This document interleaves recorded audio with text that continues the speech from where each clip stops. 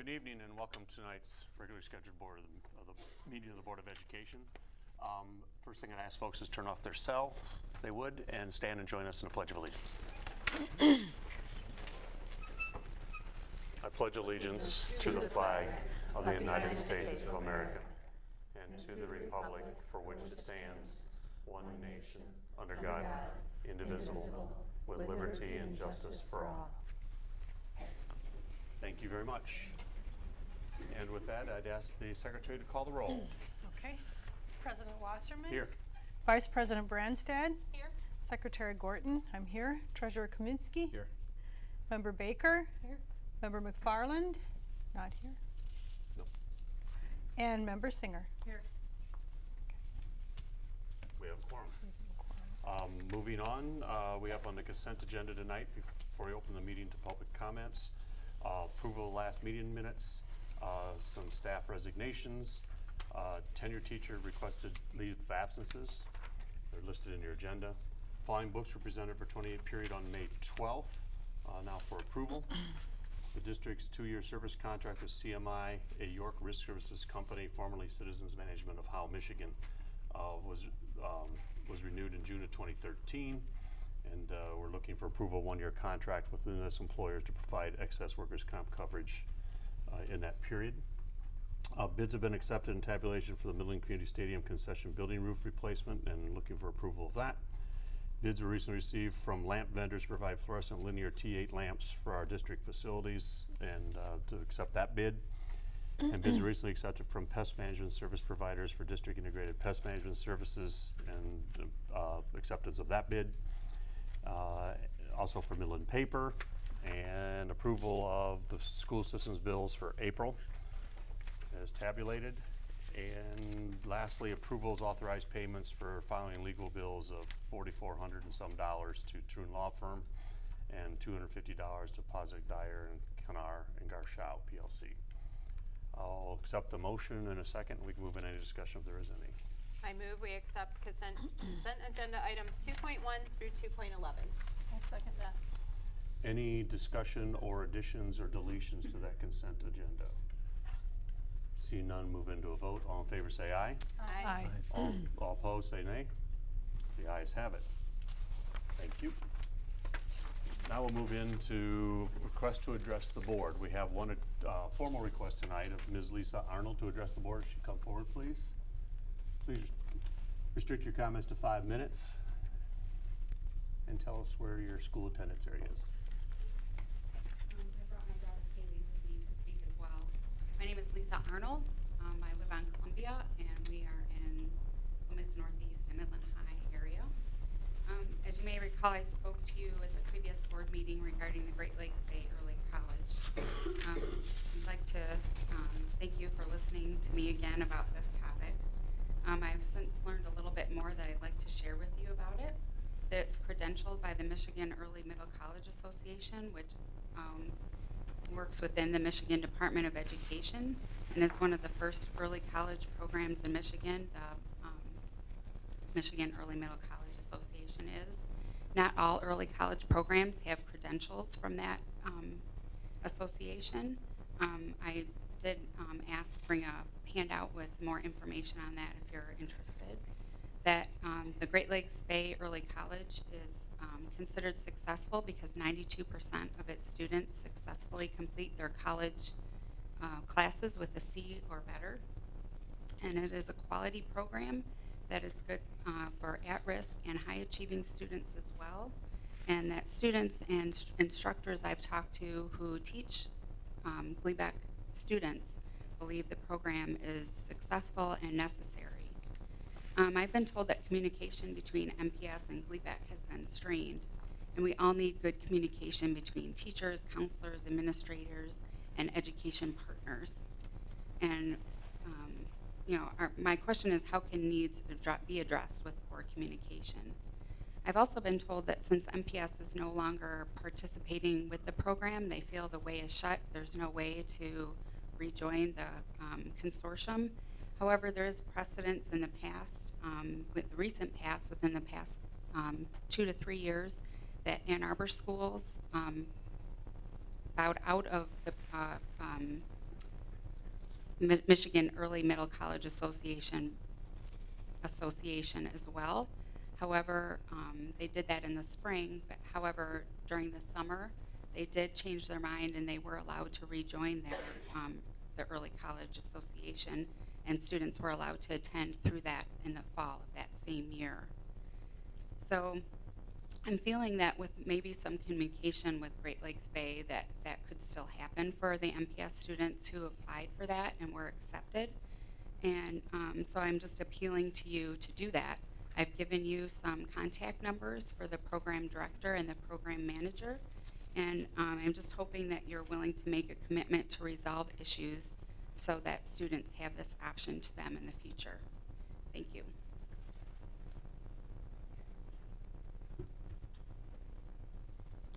All right, before I start, I just want to say I really hope it's not pride that keeps you from going back into this program. Because I'm the one who applied and I was very disappointed when I couldn't get in. All right. Hi, everyone. My name is Kaylee Arnold. I'm in 10th grade and attend Midland High School. I was raised not to dis- dispute the teachings or ways of teachers or authoritative figures in the school until now. I'm in all IB honors or advanced classes, and for the most part, I'm very successful. I work hard for the grades that I get, but I have decided that the IB program isn't really for me. It limits my class choices, and it's pretty stressful, which I understand that the college life would be too, but it would be a little less structured and I would be more independent. I decided some time ago that I would like to enter the Great Lakes Bay Early College program. The independent atmosphere and easy transition from high school to college life was appealing to me. After speaking with other participants and attending the informational meeting at SVSU, my decision became solidified. I would apply to the program. So I did, and I was accepted. Upon getting my acceptance email, I was also informed by my parents that MPS had chosen not to participate in the Great Lakes Bay Early College program any longer. I was confused, so I asked why. I was told that one of the reasons this program was cut was due to poor communication. Where is this gap? I had received the informational packet from my counselor. She was the one who told me when and where the informational meeting was. I got my transcript for the application from the counselor's office, and they were fully aware of what it was for. So you can kind of see why I'm confused. This program was dropped because of poor communication, yet it wasn't communicated throughout the school system, and especially to me and the other students that applied, that this program was dropped. I don't find the answer of poor communication sufficient. If I were to skip every assignment in which I experienced what I thought of as poor teacher to student communication, I wouldn't be doing a quarter of my assignments. So that's why I ask questions, whether it be of my teachers, my peers, or even my family members. I'm more often than not able to sort out the problem. In fact, it usually turns out that I just misunderstood a part of the instructions. Could it be that MPS merely misunderstood this program? I'd like this program to be reopened for this year, and what I'm asking for is an effort. I would like to see an effort in, to communicate put in. This program, if this program is reopened as it should be, I'm 100% willing to work directly with any administrator to make the path of communication more direct and, if at all, easier. If the reopening would, were to occur and the MPS administrative staff continues to find this program unfitting for them, I am asking for a public closing of the program. Don't make it quiet like you did this time. Thank you. Thank you.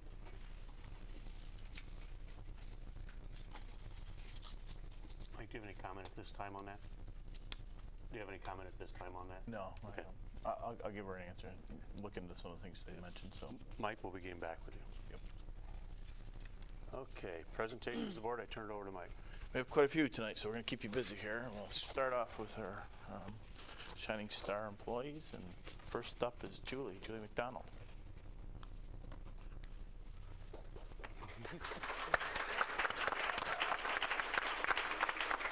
You get to stand here, and I get to read all kinds of good things about you. Okay.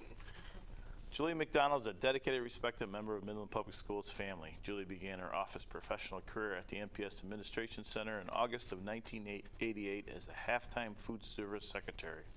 In 1992, Mrs. McDonald moved into the position of video booking clerk in the MPS Media Center. In 1994, she moved to the position of secretary for the manager of building maintenance in the service division. In 1997, Julie was the secretary to be the director of facilities and operations and moved into the front row at the administration center. In 2003, Julie moved into the position of the office technical professional for the human resources office, and in 2006, she returned to her high school alma mater, H.H. Dow High School but this time as the super- supervising office technical professional, the position she holds today. As you can gather from this, more than 26-year journey down Julie's MPS professional memory lane, she has touched the lives of many Midland Public Schools, students, staff, families, and community members. One of Julie's first, very first supervisors remarked more than 26 years ago, Julie has a great rapport with others. It is always pleasant to see her smile on the front line. In her current position, her supervisor recently remarked the Dow High School office under her supervision is an efficient, warm, inviting, and welcoming atmosphere for the community, parents, students, and staff at Dow High. Her supervisor goes on to say that Julie has genuine Charger spirit and models it each and every day with strength, pride, integrity, respect, intensity, and tradition in everything she does every day at Dow High. Julie's warm, caring, efficient ways noted in 1988 continue today and radiates to those she supervises and comes in contact with at DHS. Julie was nominated for the Shining Star by an MPS colleague. Among her comments, the staff member wrote, Julie goes above and beyond 24-7 at Dow High. She manages to balance all the duties in the main office with nonstop interruptions. She is polite, professional, and caring. She always keeps her students and teachers' best interests paramount to all of, all of her daily responsibilities. And her contributions to our school and MPS are numerous. She emulates Charger spirit in all her duties at DHS. She truly displays sincere dedication and commitment to Dow High students and staff that is second to none. Congratulations to Julie.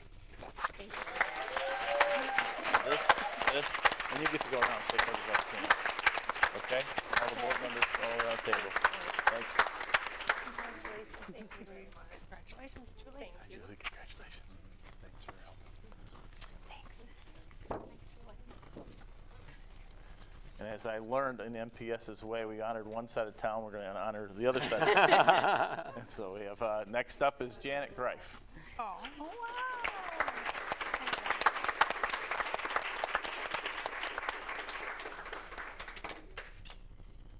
I don't know if I can say Mrs. Grace, so I might have to use Janet multiple can, times here. Okay.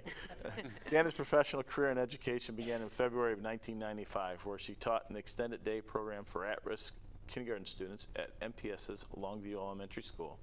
In the fall of 1995, she was hired as a Title I teacher for Westdale Elementary School and Saginaw Township Community Schools. In 2000, she began her school administration career as an elementary principal with the Bay City Public Schools. Mrs. Greif's MPS administration career began in 2004 as the assistant principal at Central Middle School. In 2006, she moved into the principal's position at Plymouth Elementary, and in 2009, she took at the helm of Northeast Middle School. In 2010, Mrs. Greif took over the leadership role at Midland High High School as the MPS principal, the position she holds today. Janet graduated from Saginaw Valley State University in 1995 with a Bachelor's of Arts degree in elementary education. In 1998, Janet earned her master's degree in educational leadership from Saginaw Valley State University. During the 2007 2008 school year, Janet was chosen to participate in the Gerstacker, Gerstacker Fellowship Leadership Program. As part of this demanding year-long program, Janet traveled to China and Taiwan to experience firsthand educational practices in another part of the world. One of Janet's supervisors remarked, Janet is both an effective building manager and a strong educational leader. She's a hard worker and a great problem solver. She multitasks well, and most importantly, she cares about children. I have thoroughly enjoyed working with her. Another supervisor stated she has garnered the respect of staff, students, and parents. She is a tireless worker that attends and supervises numerous after-school events. Her leadership is an asset to the entire, entire district. Janet was nominated for the Shining Star Award by an MPS colleague. This person wrote, Janet truly has the best interest of Midland High staff, students, and families in the forefront of everything she does. She's an amazing administrator who leads by example. Through a very difficult spring at Midland High School, where, where Midland High School lost a treasured staff member to cancer, Janet made sure the students, staff, and families were cared for and supported.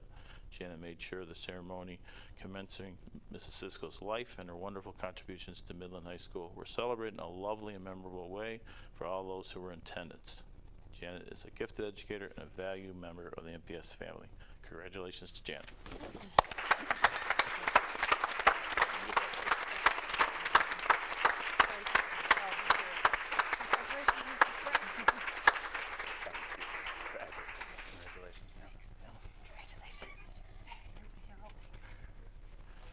And we're going to go back over to Dow High School one more time. this one will be short and brief, but um, um, Pam, if you want to step in here, you can as well.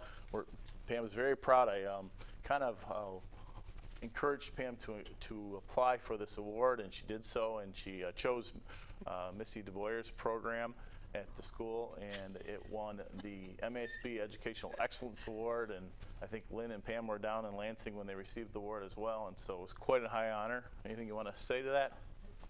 really pretty proud of our marketing students to classrooms and Missy DeBoer. She did a beautiful job and I appreciate your support and encouraging us to apply for that. And uh, Proud to bring it back. Mi- Missy did a PBL lesson as well, so you know we've been really working hard on project-based learning, and that was so that was a nice piece of that as well. Community partnership. Well, we're proud of you. Thank you. Thank you.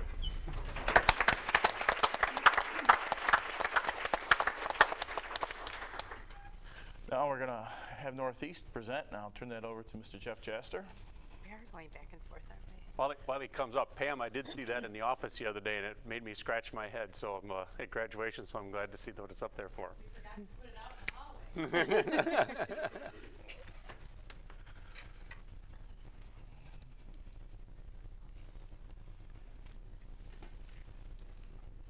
Good evening. Thanks for uh, having us tonight. I'm excited to, to be here to present our middle school version of Genius Hour. Um, I'm even more excited for the kids behind me to be able to talk to you about it. That's really what this is about. But um, Genius Hour, just really quickly, is not a new concept in the business world. Um, it's also sometimes referred to as FedEx time. Uh, but what I think is unique about what these kids have done this year is they've taken the middle school iPad pilot, and with the help of Robin Bott and Deborah Finn, their two teachers, who, by the way, are both sixth grade social studies teachers, so there were a lot of opportunity for collaboration. They've taken this idea and really made it into something special. So I'm going to turn this over to Robin and Deborah and let them fill you in. Hi, I'm Deborah Finn, I'm a sixth grade teacher at Northeast Social Studies and Language Arts. Just a little quick backstory to the iPads. Um, we were presented with the iPad initiative, and Mrs. Bott and I uh, were the fortunate winners, and so we got to share them with the kids. We're, we're, aren't we excited about it? Yes, we are. Okay.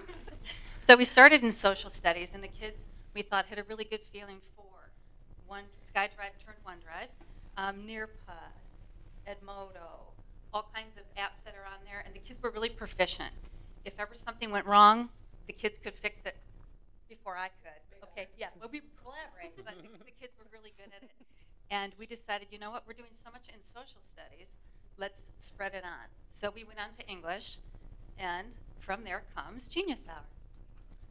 Um, when we started trying to figure out how to morph this into something bigger for the kids, we realized um, that Deborah and I had really done a lot of the learning ourselves on the iPads. And the kids had been more on the receiving end of what we had been learning. And we wanted them to have a chance to use them, the iPads as a tool to learn themselves and to create presentations that they could do for the world.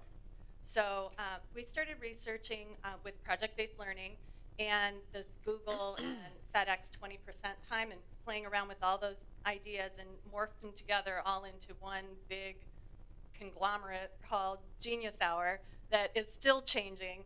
Um, we incorporated, um, we started with the two of us, um, but then we have two separate teams. So we have 200 kids all together. And all the language arts teachers on our teams were able to do Genius Hour with their language arts classes because the kids already knew how to use the iPads from social studies. So the kids could teach the teachers what they needed to know to be able to run Genius Hour. And the iPads are on wheels, so it's really easy. Really easy. so what we would like to do for you today, um, before we turn it over to the kids who are the real stars of the show, um, is just show you how we introduced the idea to them, um, and then you'll get to hear from them their perspective on what it is that they were uh, able to accomplish in the second half of this year.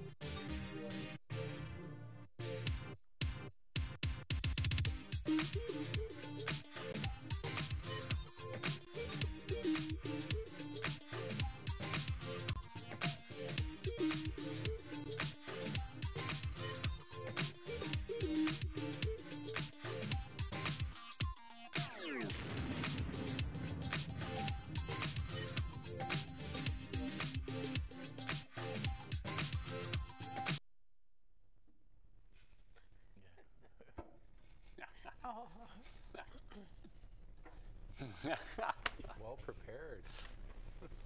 Hi, I'm Luca Jolly. I'm in sixth grade at Northeast Middle School.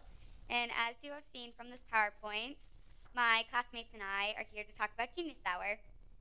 So, Genius Hour worked pretty much in four simple steps. First, we came up with a fact question, which was our idea. Then, we did research. Then, we put together a presentation. And then, we presented it. I've done a lot of Genius Hour presentations, and they all started out with a burning question. And here are some of my questions. I did what makes Candy Crush Saga so addicting? the process, how it, like does how is a Broadway show processed? How to take care of and show rabbits? And I'm currently working on what it takes to become a ballet dancer. My favorite presentation so far has been how to take care of and show rabbits because rabbits are my favorite animals and I raise rabbits and I was really curious about the topic. In class, our, our teachers encouraged us to have human resources and visuals, so I interviewed my friend who shows and breeds rabbits, and I brought in one of my rabbits for my rabbit presentation. And so I really, really, really like Genius Hour. It's one of my favorite times of the week, and it's really fun. And there was so there was this one day where it was this Wednesday, and Wednesdays are our usual day for Genius Hour. And there was a snow day, and I was like, "Yay! I don't have school," but I was kind of sad because I didn't get to do Genius Hour, and it was really fun, and I like it. And I've learned a lot from using the iPads and from doing Genius Hour. Like, the right information won't always be online, and apps sometimes just will fail and just won't work for me. My projects sometimes won't always save on the iPads. And I've also learned some really good, really good stuff like how to work Shobi, Book Creator, Explain Everything, and Instagrok and I've learned how to solve problems, and it's been really interesting for me. And I've learned a lot from my friends in class. And speaking of my friends, my friend from my team, Edie, is here to share one of her Genius Hour presentations.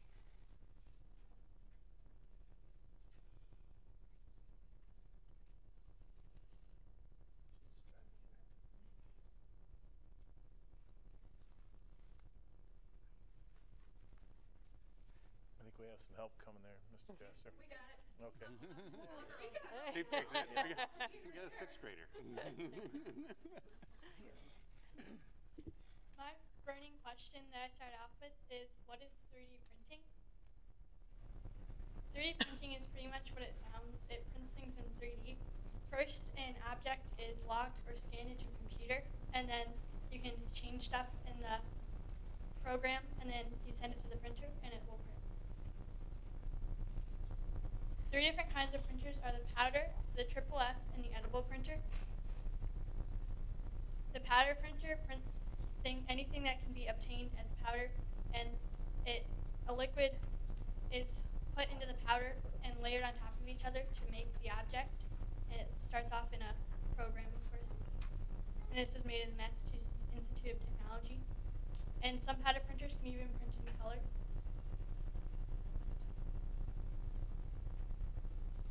The triple F printer, and it stands for Fused Filament Fabrication. First, the object is either scanned or created on the computer, then is sent to the printer, and it will get melted and layered on top of each other to make the object. It can print anything from toothbrush holders to an iPad case, and this is the most common 3D printer. It even is in some households, and it costs about $400. The edible printer is the same as the triple F printer. It is just a edible substance, and it can create it can like um, can ice cakes and can and can create sugar toppers, and it can make gummy faces and chocolate faces. And here's some pictures. And then the triple F printer, the powder printer, and the edible printer. And then here are some of my sources that I used to get.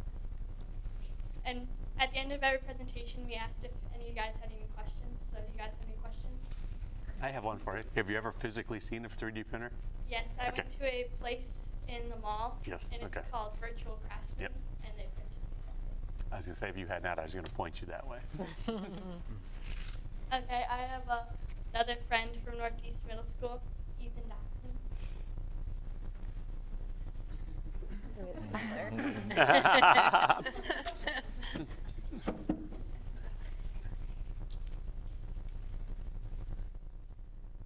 Hello, I'm Ethan Dotson. I want to tell you a little bit about something I researched called eggcorns. These are commonly used words or phrases that are mispronunciations or mixtures of real ones. The name was coined by Geoffrey Pullum, a professor of linguistics, after reading an article by Mark Liberman. The article discussed a case of a woman substituting eggcorn for egg- acorn and argued that this happening lacked a name and Geoffrey suggested using Eggcorn itself for, as a name for the error. Some examples of eggcorns that I found are nucular and centrifugal. Nucular is a mispronunciation of the word nuclear, and centrifugal force is completely made up. the two forces it is used in place of are centripetal and centrifugal. This project was my favorite because I got to see how many words my family and I use every day are incorrect. and I also saw a few unbelievable ones, such as hammer and thongs rather than hammer and tongs. when we were researching, we had to watch out for unreliable information in websites, and we learned to look for a legitimate author and to check if a possibly biased company created the website. If a company created it, there was probably false info to make their product more desirable. For example, a kid named CJ was set on getting an Alienware gaming laptop, and he decided to research whether or not he should really get one. The Alien web, it, the Alienware website had only good things about the laptop, but when he interviewed someone at Best Buy, he learned that a desktop would be much better all around. Even though the school year and Genius Hour are concluded, I want to do more over the summer. I want to learn to use CAD with my dad and to learn more about creating art with 3D printers. I think Genius Hour is great. It's improved my technological skills on the iPads, it's helped my public speaking skills, but most of all, I think it's fun to get to choose what you learn about.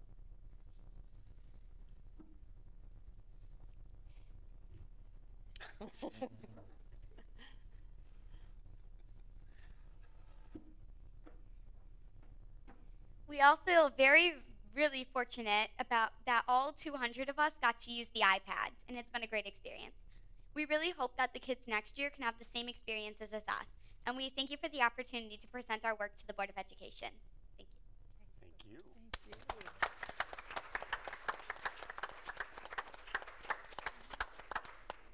Can we ask questions before you sit down? I'll go first. do you always work as an individual or do you sometimes work in groups on these research projects? Well, it kind of depends. I've seen a lot. It's really common in my class to work as an individual, but I've seen like one or two projects made with two people. So you can do both.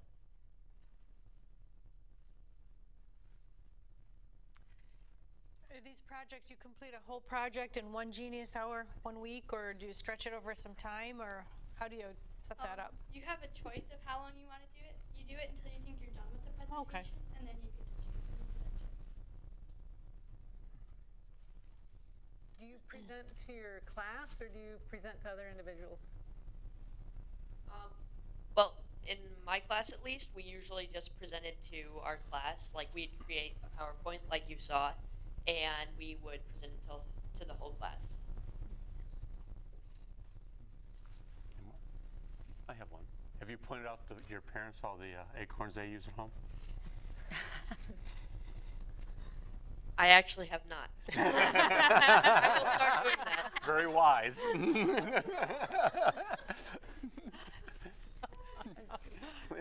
Well, you were saying that you're going to miss this because next year you won't have this opportunity. Does it make you feel like you're going to do this at home on your own? I mean, does it get you excited to go explore different topics? Yeah, I think I'm gonna do this a lot at home because it was a lot of fun and I got to share it with a lot of people, so it was pretty awesome. I would just say that just not only the knowledge, I'm very impressed with just your presentation for being in sixth grade. Yes. You've, you should be congratulated just for, for all those skills as well. Thank you for coming. Any more? Thank you for coming in. Great Excellent. Good job.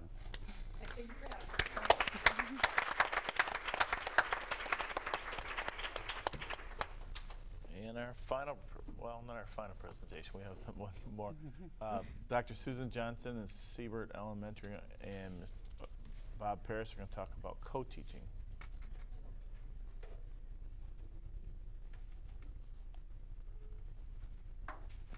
We'll get everybody up here first. It's a lot of cool. First, I want to just thank you again for giving us this opportunity to share some information with you tonight about our venture into co-teaching at Siebert Elementary. With me tonight are members of our co-teaching team, Bob Paris, Andy Zimmer, Judy Pellet, Lisa Simons, Lisa Lauer, Crystal Bennett, and Tammy Samagal. We're going to get started with the first slide that says, what is co-teaching?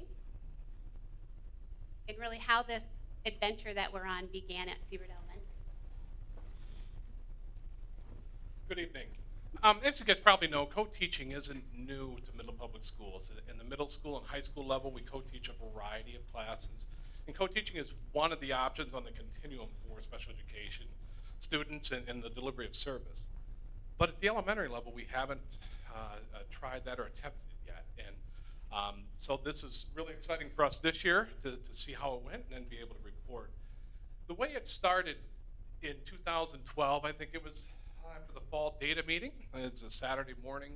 Um, received an email from uh, Susan Johnson that kind of talked a little bit about the, the grade level meetings and how outcomes really weren't what she had hoped and, and what the team was looking for for students uh, that were in the resource room classroom.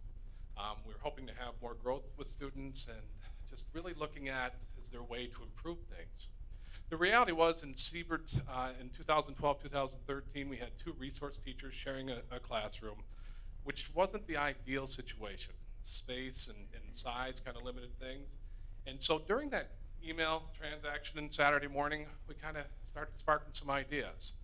And we threw back and forth some ideas. We had read an article recently and in a, in a publication that talked about the different delivery models and return on investment with students with special needs. One of the things I threw out is, what do you think about co-teaching? What do you think about doing inclusion? And during that Saturday, back and forth, it was, well, would we do K-5 co-teaching? Would we do uh, specific grades?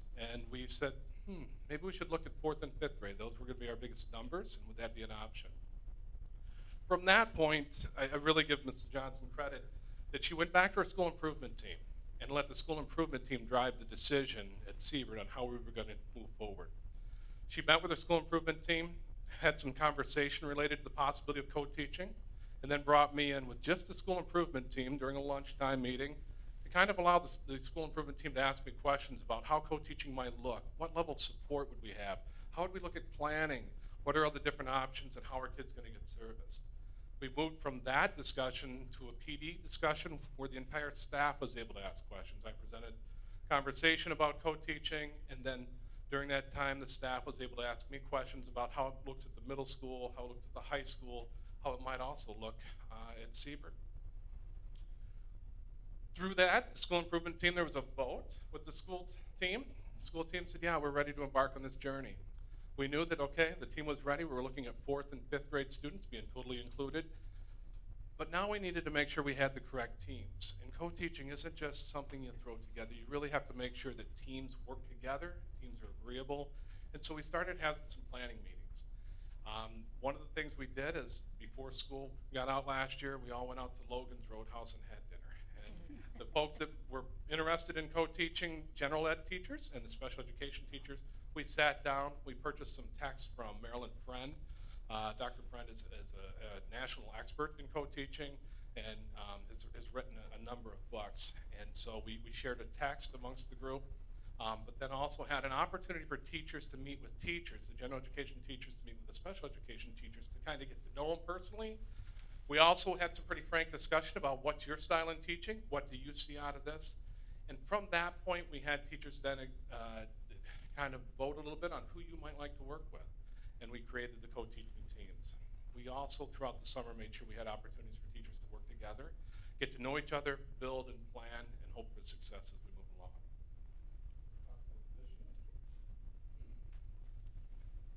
Our vision ultimately is success for all students. We really thought with the co-teaching model that we would be able to meet the needs of various students, our special education students, our low social economic students, as well as our gifted and talented students. Um, our vision from there, we were really intentional about setting up this program. The teachers volunteered, it wasn't an assignment. You volunteered to teach it, but then they also invested a great deal of time. We were intentional about, about making sure that we had a monthly collaborative, whether sometimes that would happen on our lunch hour, sometimes we would take a half day. But throughout the whole school year, we knew we needed to get together, we needed to talk with each other, find out how things were going, what were we frustrated by, what were they frustrated by, and just to reflect on it. We have common planning time for the fourth and the fifth grade so that they can meet with the special ed and the general ed teacher. Um, we're continuing our school improvement work. This is our very first year of doing this, but we're carefully watching how it's going. And you're going to hear tonight what the teachers feel, what the students feel, and what the parents feel of how it's gone so far. But key to this all is really the reflective thinking. We need to reflect on how this year has gone and continue to move forward. And the teachers have done an excellent job at that. Next, we're going to talk about what co-teaching will look like specifically in the classrooms at Siebert.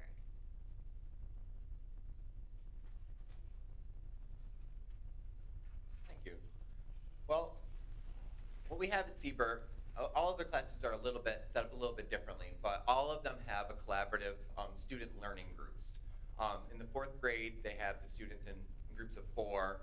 In fifth grade, in my classroom, I have a groups um, in groups in three. And how I set up the room is the, the kids that, with three kids, you'd have the special education student would be in the middle, and then there'd be a regular education student on each side. Now, nobody knows who is what in the classroom, and it doesn't doesn't fit perfectly. There are some pods that only have general education students, and this is done on purpose that so that nobody knows. There's no labeling involved in this. We are one classroom, which is one of the advantages of having a co-teaching classroom. Is you no longer have the students leaving and being singled out. They're all members of the same class. Our class sizes are a little bit smaller. We have a few less students than the regular um, classrooms. And then with the co-teaching, communication is key. You have to let these parents know how this is very different from the resource room setting, where they, they were very used to walking, having their students go to a different room and getting just that special attention. And they were, a lot of the parents were nervous that they were now no longer going to be able to get the attention that they, their students needed. And then in reality, they get even more attention because it's all grade level now. They are all surrounded with fifth grade work in our grade or fourth grade work in the fourth grade. And they are seeing not only the attention from both of us as teachers there, but the other students. And that's the biggest part of this is having other students, their peers, treating them and working with them as equals. And it becomes a team in the classroom and watching them grow as the year goes on um, is, is very, very big. And so when we communicate, email is the number one, along with newsletters, phone calls, and, uh, and sometimes um, specific meetings after school with parents to make them feel comfortable with this new setting. Um, we do share responsibility with all of the students, so that means that the special education student uh, teacher does not just work with the special education students. It's mixed groups at all times. Once in a while, you'll have to pull a few students back to a table in the same classroom and work on with them towards their specific goals that they have. But in reality, that's that's more rare. Rea usually it's a mixture of special education students and regular education students that need that little extra help, whether it's with reading comprehension, with writing, with adding details, with getting a more clear message within um, the project or the assignment that you're doing. Uh, when we do the teaching, there are four main models that we try to use as much as possible. Peer teaching is we split the kids up in half, and I would be teaching half of the students, and Mrs. Simons in our room would be teaching the other half. And again, this is a mixed group. You have three or four special education students in each group and regular education students as well. And we teach the exact same lesson at the exact same time, which took a little getting used to because you have two voices going on. It's pretty hilarious when they're both reading, and it kind of feels like you have a little echo going on in the room. And the questions also then get uh, repeated on one side and the other, so they hear that. Sometimes it helps some of the students that they can hear the answer on one side of the room, and then when our other group gets to it, they have a little bit of a, an advantage to that. Um, alternating lead teaching basically will be one of us will be up front while the other one walks around the classroom and helping out the students with making sure that they understand what they're required to do, helping them um, do the work, and making sure that they're on task in case they're that's an issue for that side that child. Um, station teaching is one that we really enjoyed. Um, what this one is, we used three stations. We had one independent learning station, and then the other two stations, Mrs. Simons was at one and I was at the other, and we would work on specific skills. We used it one of the times with writing, where I worked with the students on adjectives. Mrs. Simons worked with them on, I believe, similes, and then the other station was about dealing with editing their own papers. And then what th- that works is the students um, move from station to station while we stay in place and gets the kids up, moving around a little bit, and but then makes a very very smooth uh, lesson. And then finally, um, teachers as facilitators, we did this a lot through uh, book clubs this year, and we encouraged the kids to come to class each day with their own questions that they wanted to discuss. Um, they, they'd be in groups of four or five, all reading the same chapter book, and they would decide together how many pages they were going to read each night. They would bring discussion questions, and we'd give them time each day to sit down as a group and just talk about the books. And, and then we would wander around making sure that they were asking appropriate questions, staying on task, and the kids absolutely loved this. And they always ask when we would be doing the next one because they get an opportunity to just talk about their reading. And we get the ability to listen to how they think. And um, it was a win-win situation for sure. And then to show data is always a good thing to be able to back up whatever we're saying on this. So um, this is some of our, um, a snapshot of these eight students that are in um, Mrs. Simons in my classroom. And all of these eight students during, um, during early testing of DIBELS were either um, strategic or intensive students. So they were going to be needing interventions. So these students would receive either a small group intervention each day or an individual um, intervention. And what we were very proud to say is that all eight of the students here exceeded the realistic goals for a year. And actually seven out of the eight exceeded the, um, thank you very much, the ambitious goals for the year as well, which well, I'm very proud of. Oh, These kids have just done an amazing job and the gains that we've heard. And what I really have enjoyed is when we have a sub in and they come in they're hearing the students read, they can't tell which of the kids are labeled as special education, which of the kids are regular education because they all are just readers. Thank you. Um, I'm going to talk about uh, special ed and how well they have progressed. This is a sample of a writing student. I think one of the hardest things for a special ed teacher is to teach writing because we can't really have a dialogue with the kid to help them understand, think through, give them ideas. We can give them ours. I think the best way is to do it with their peers. And this is, I think, phenomenal for the growth that they've made. What we call this is an AIMSweb snapshot of a writing piece. We start out with a probe. Um, they think about it for a minute and then they're timed for three minutes. This is a snapshot. The first one is at the very beginning of in fall. And if you were to look at the um, total words written, which is the TWW at the end, that was below the 10th percentile for a regular or a normal fifth grader. And then the CWS, which is the correct word sequence, which looks at the capitalization, punctuation, things like that. That was almost about the 25th percentile. The next one over there is the end of the year. Um, I'm real proud of this one because she exceeded way farther than I thought she would go. Um, she's almost to the 75th percentile. So to see somebody who wouldn't write or couldn't write or had no idea to write and working with their peers, getting suggestions from their peers to come to that was just an amazing feat. And a lot of our kids went that way. So. And then this is a graph. Okay, Oh, wrong way. Sorry. This is a graph that we use with our kids, and you can see the pink line is the correct word sequence. Generally, the correct word sequence will go below the total words written, since they're not used to doing it, but she will go above towards the end. And you can see that she followed pretty much a very nice progressive and um, learning aim line.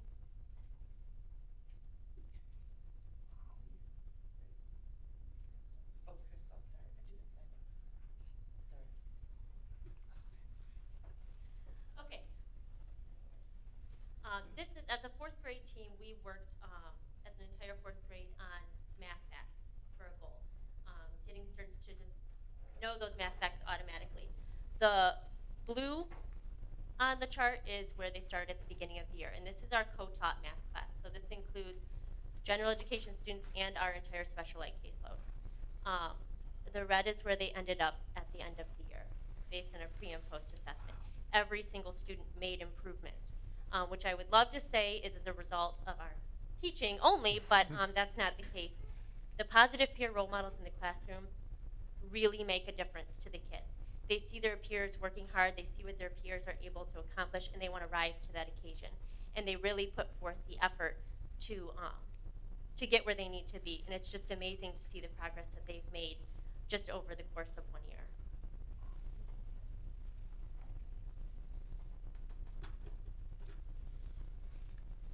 These are just snapshots of data that we've looked at this year. We, we've used the, uh, the Web writing probes and also the math facts.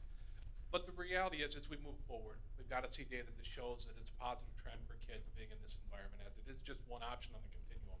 So we think about as we move along, um, being reflective on what we're doing, what are the different data sources moving along that we're going to look at. We want to make sure the data that we pull, it, it's purposeful, reliable, and valid data. Some of the things we're looking at, we would like to use state assessments, but everybody knows that's in flux right now with the state not even knowing if we're going to MEAP or smart, MEAP or, or Smarter Balanced. But other pieces that we're looking at is district assessment. Can we can we measure with that with the district assessment with over time how are kids progressing? How are our special education kids progressing comparative to resource rooms kids progression? DIBELS assessments and then interim assessments if that should come through Smarter Balanced, those kinds of pieces. So we are looking at data sets to determine how much our kids growing and what are the possibilities for kids in, in the co-taught environment. So. Just some pictures. Uh, pictures of kids in the classroom. Just kids in the classroom.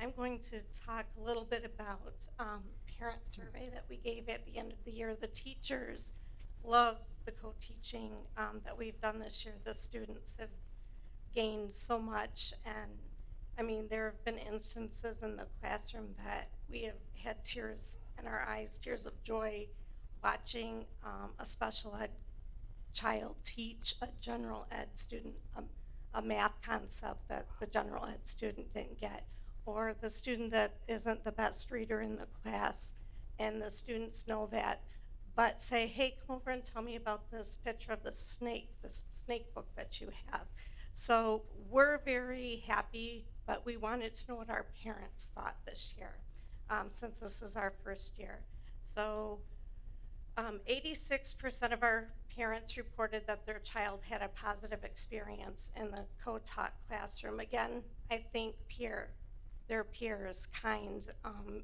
making them feel included, making it a team effort. 89% of parents reported that their child's experience was better or the same as compared to a traditional classroom. And the majority of parents reported that their child benefited academically and socially in a co-taught classroom.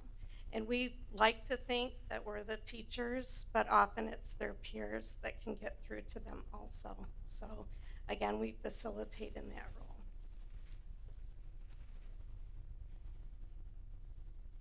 and these are some of the actual parent comments that uh, we took. Um, he liked not having to leave his classroom and miss out on what was being said in there. He felt more informed and missed fewer details. We have a lot of students um, that have organization problems and then going to the resource room and then having to come back and figure out, okay, where are we at? What are we doing? Um, they didn't have to do that this year, so we felt that um, organization did improve.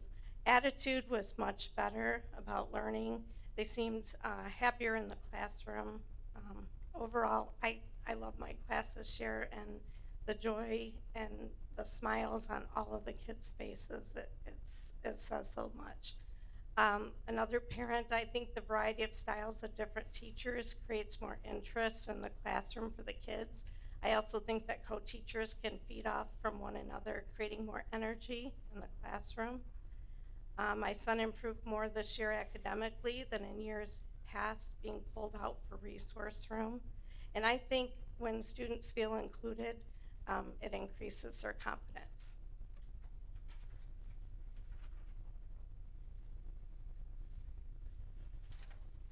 Here are a couple more parent comments. My concern with the co-taught situation would be if the teacher allowed the at-risk students to dominate too much of the regular classroom instruction. The teacher, however, still managed to challenge the kids that need extensions. The teachers are an excellent model for how to manage co-teaching. And again, this year I was able to differentiate more than I probably ever had in the last 22 years that I've um, been a general ed teacher because I was able to work with mixed groups again, but we were also able to extend our high kids too, as well as um, the lower students who needed um, just a little extra help. Uh, the co-teacher helped my son with organizational skills, and I feel he got more individualized feedback on his writing than he did last year in a traditional class. And then the co-taught classroom allows for students to learn more at their own pace. Everyone learns at a different rate, and in this situation, allowed those that needed more time to receive it, and those that were ready could move forward. Again, being able to differentiate for all students.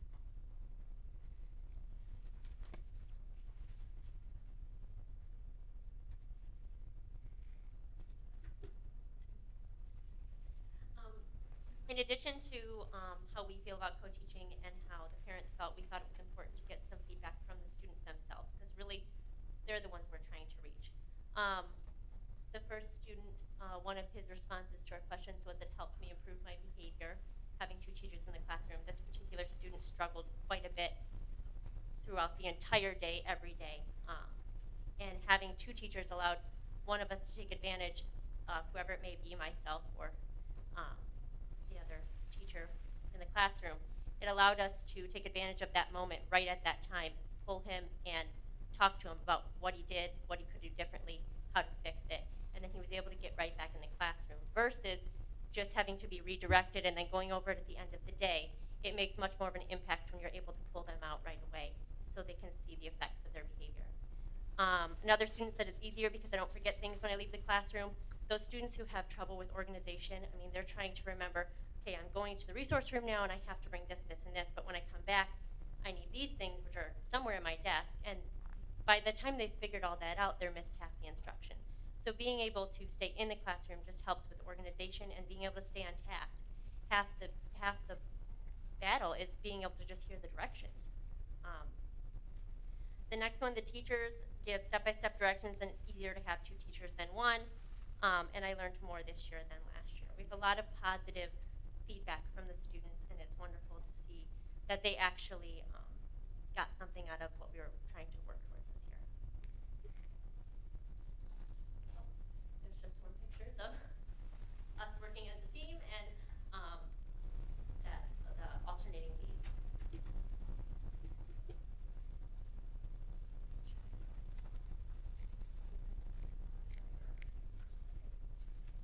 As we've reflected as teachers on our experience of co-teaching together this past year, I know we all believe that what we have done has made a difference in the lives of our students. Um, we have observed significant student growth both academically and socially. We've observed observed special education students rising higher in all core subject areas without having to miss instruction, directions, or content due to transitions to and from a resource room. Um, students have blossomed in skills, knowledge, confidence.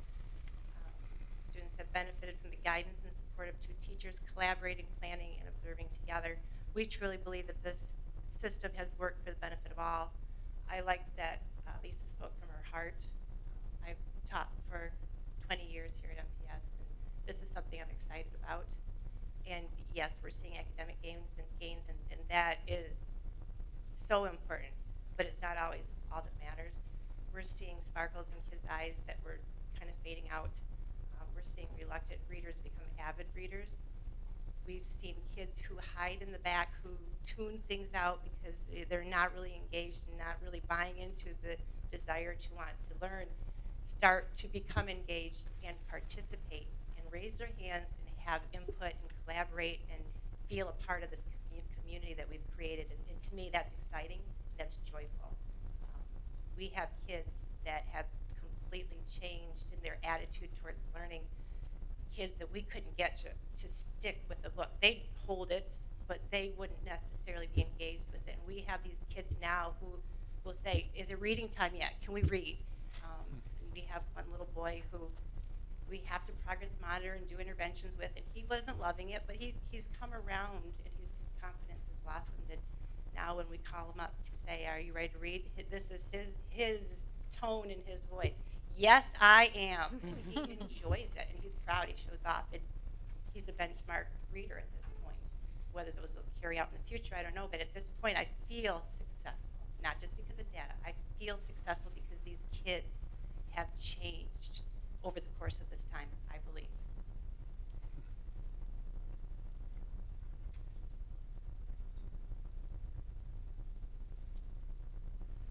Um, things that we have mentioned earlier. Um, the special education students have positive peer role models, um, which has helped to lessen the stigma of special education students.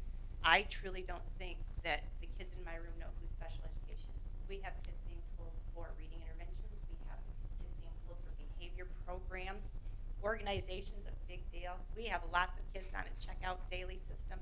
The cleaning crew, we call them, they have to and manage their, their materials and things before they leave. There are a lot of services that are coming out of this, um, this program that benefit all kids, not just special education students. Um, but special education students have gained confidence interacting and leading discussions within learning groups.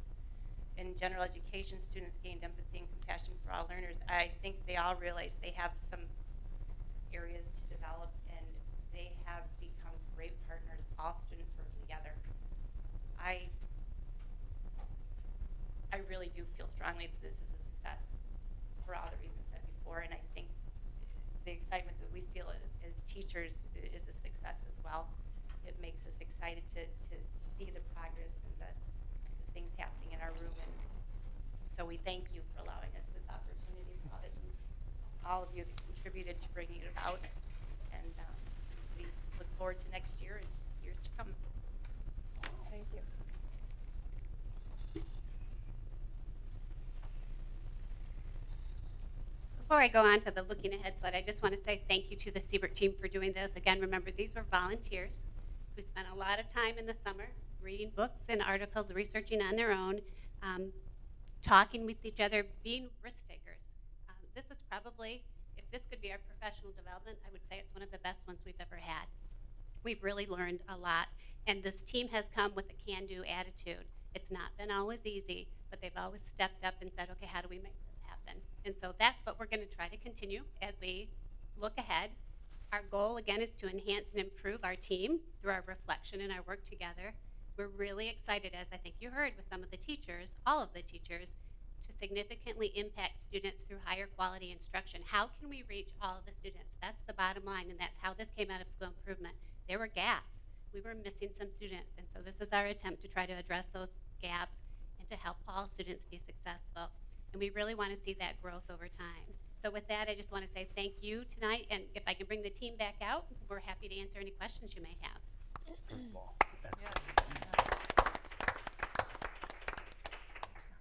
I try not to lead it, but I'm, I can't help it this time. You know, as, and you, you said it right, Susan, at the end, as we try to close the gap uh, with student achievement, and this is outstanding. Um, and I just applaud you for finding a way to do that and volunteering to do that and, and the professional development to get there. It's just outstanding.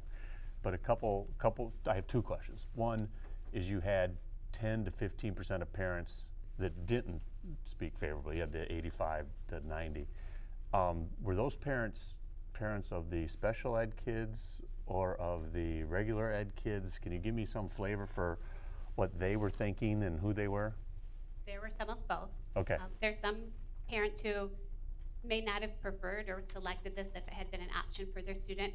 Uh, There's some parents who, especially in fifth grade, their students had experienced a resource room their whole school career, or much of it. That's their comfort zone, and that's where they were comfortable and what it was, what they were used to. So I think it was a stretch for some of the parents and the students too. We obviously didn't get 100% on our survey. It's our very first year, and again, we're reflecting on what we've done this year and how we can get better in the future. Okay. And then secondly, um, these kids move on to the next grade level. Uh, what happens next year with them? You'll have a new crop coming into you. The way, the way we've set this up is we're looking at fourth and fifth grade being totally included in Siebert Elementary. So we're looking at next year's third grade group moving into a co-taught model. The fifth grade will then transition to um, uh, Jefferson. Jefferson, and we have co-taught teams there. So it's, it's a perfect Okay. transition for kids. The other thing too, it really gives us, when we do those transition meetings, transition IEPs, we don't have to explain co-teaching to, to parents. There's usually an, an anxiety with parents, fifth grade parents that may have had resource room, the transition to a co- co-taught team at Jefferson. What's that going to look like? They've already got a year experience. They've already got a year of kids understanding, oh, I'm going to stay in my classroom.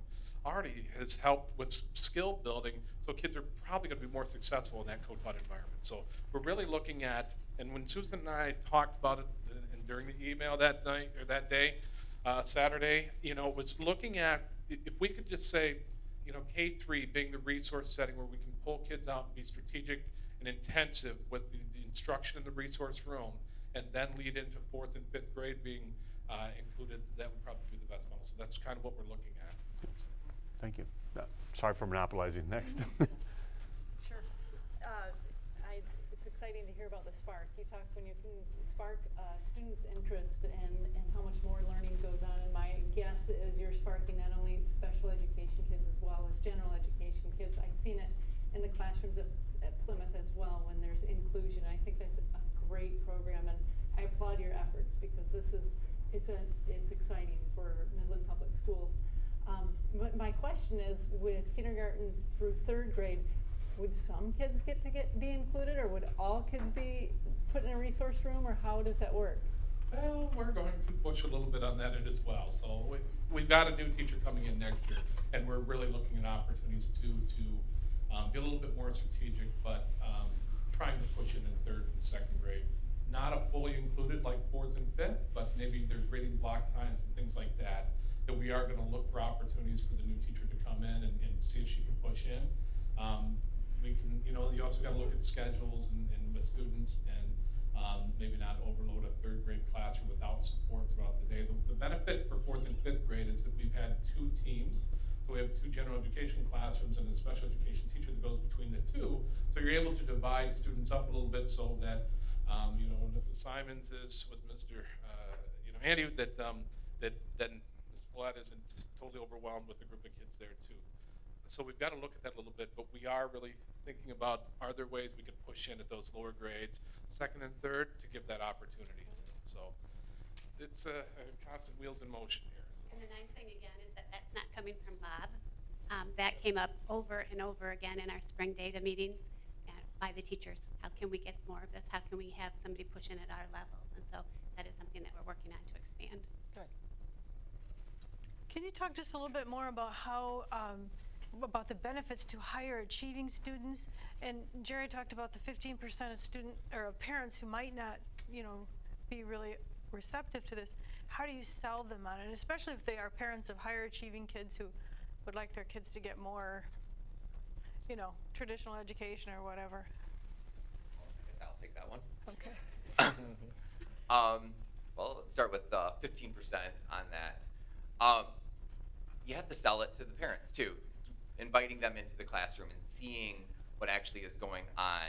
And the differentiation we can do with those higher achieving kids, they go above and beyond what they're able to do in my classroom. For example, my higher readers are reading seventh and eighth grade level books. They're not being held back trying to read at everybody's level. It's more like we're pulling everybody up. And sometimes you have to force the issue. And you, you must pull them along and they will achieve. We have, I have a boy in my room that his parent was one of them that voiced some concerns on that. And we had multiple meetings with her.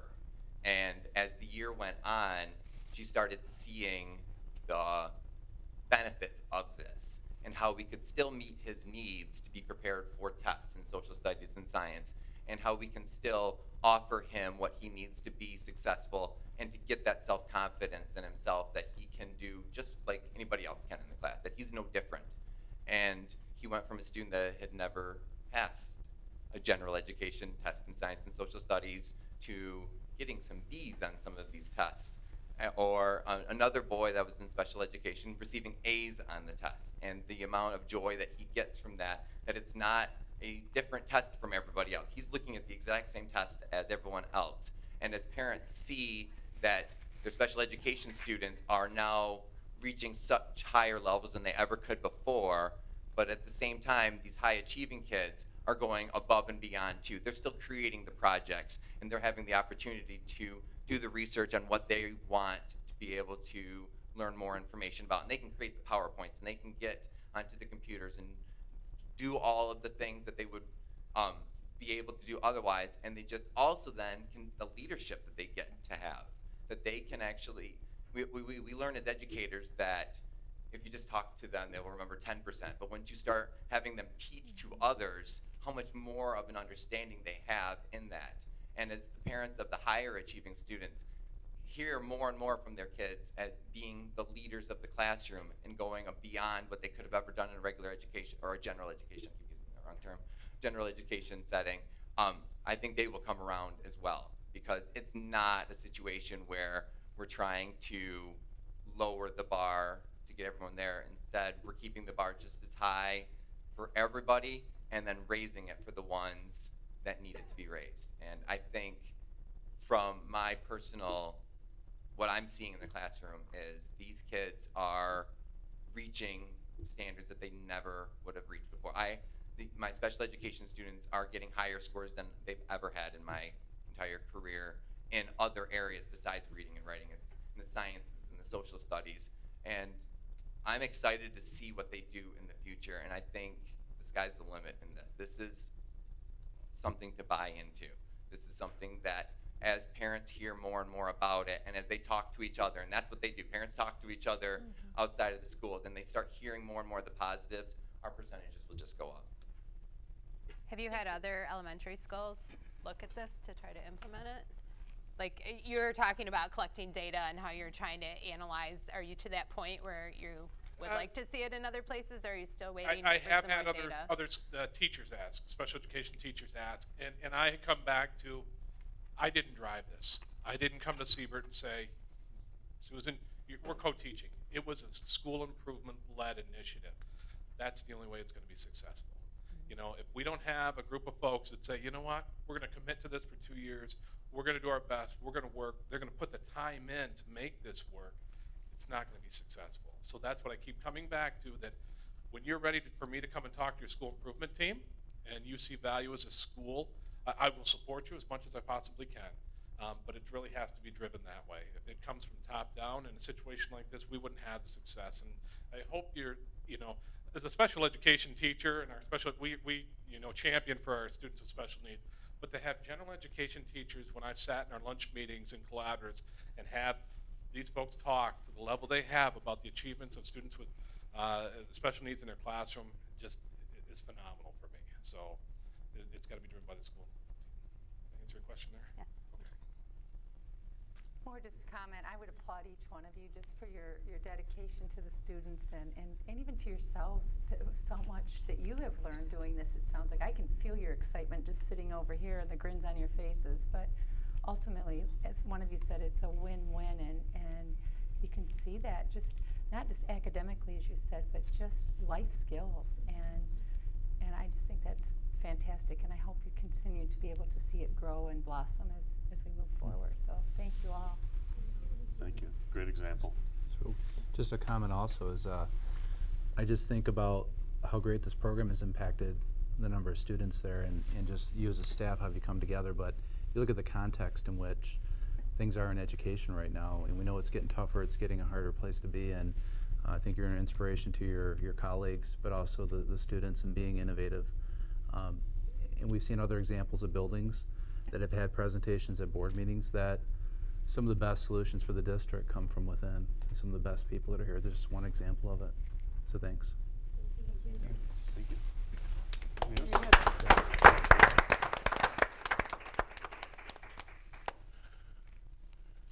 move on? So our final presentation is our general operating budget, and we'll turn it over to Linda. Linda, will you that. be as good a presenter as the uh, sixth graders were? I like the idea of the little box. Yeah. That's where I was going next, but I didn't. If I needed to be over there, I'd be on the little box. Wait for this to come Just up be- be in nice my to have zapper, smiles but with this presentation. while that's happening, I would.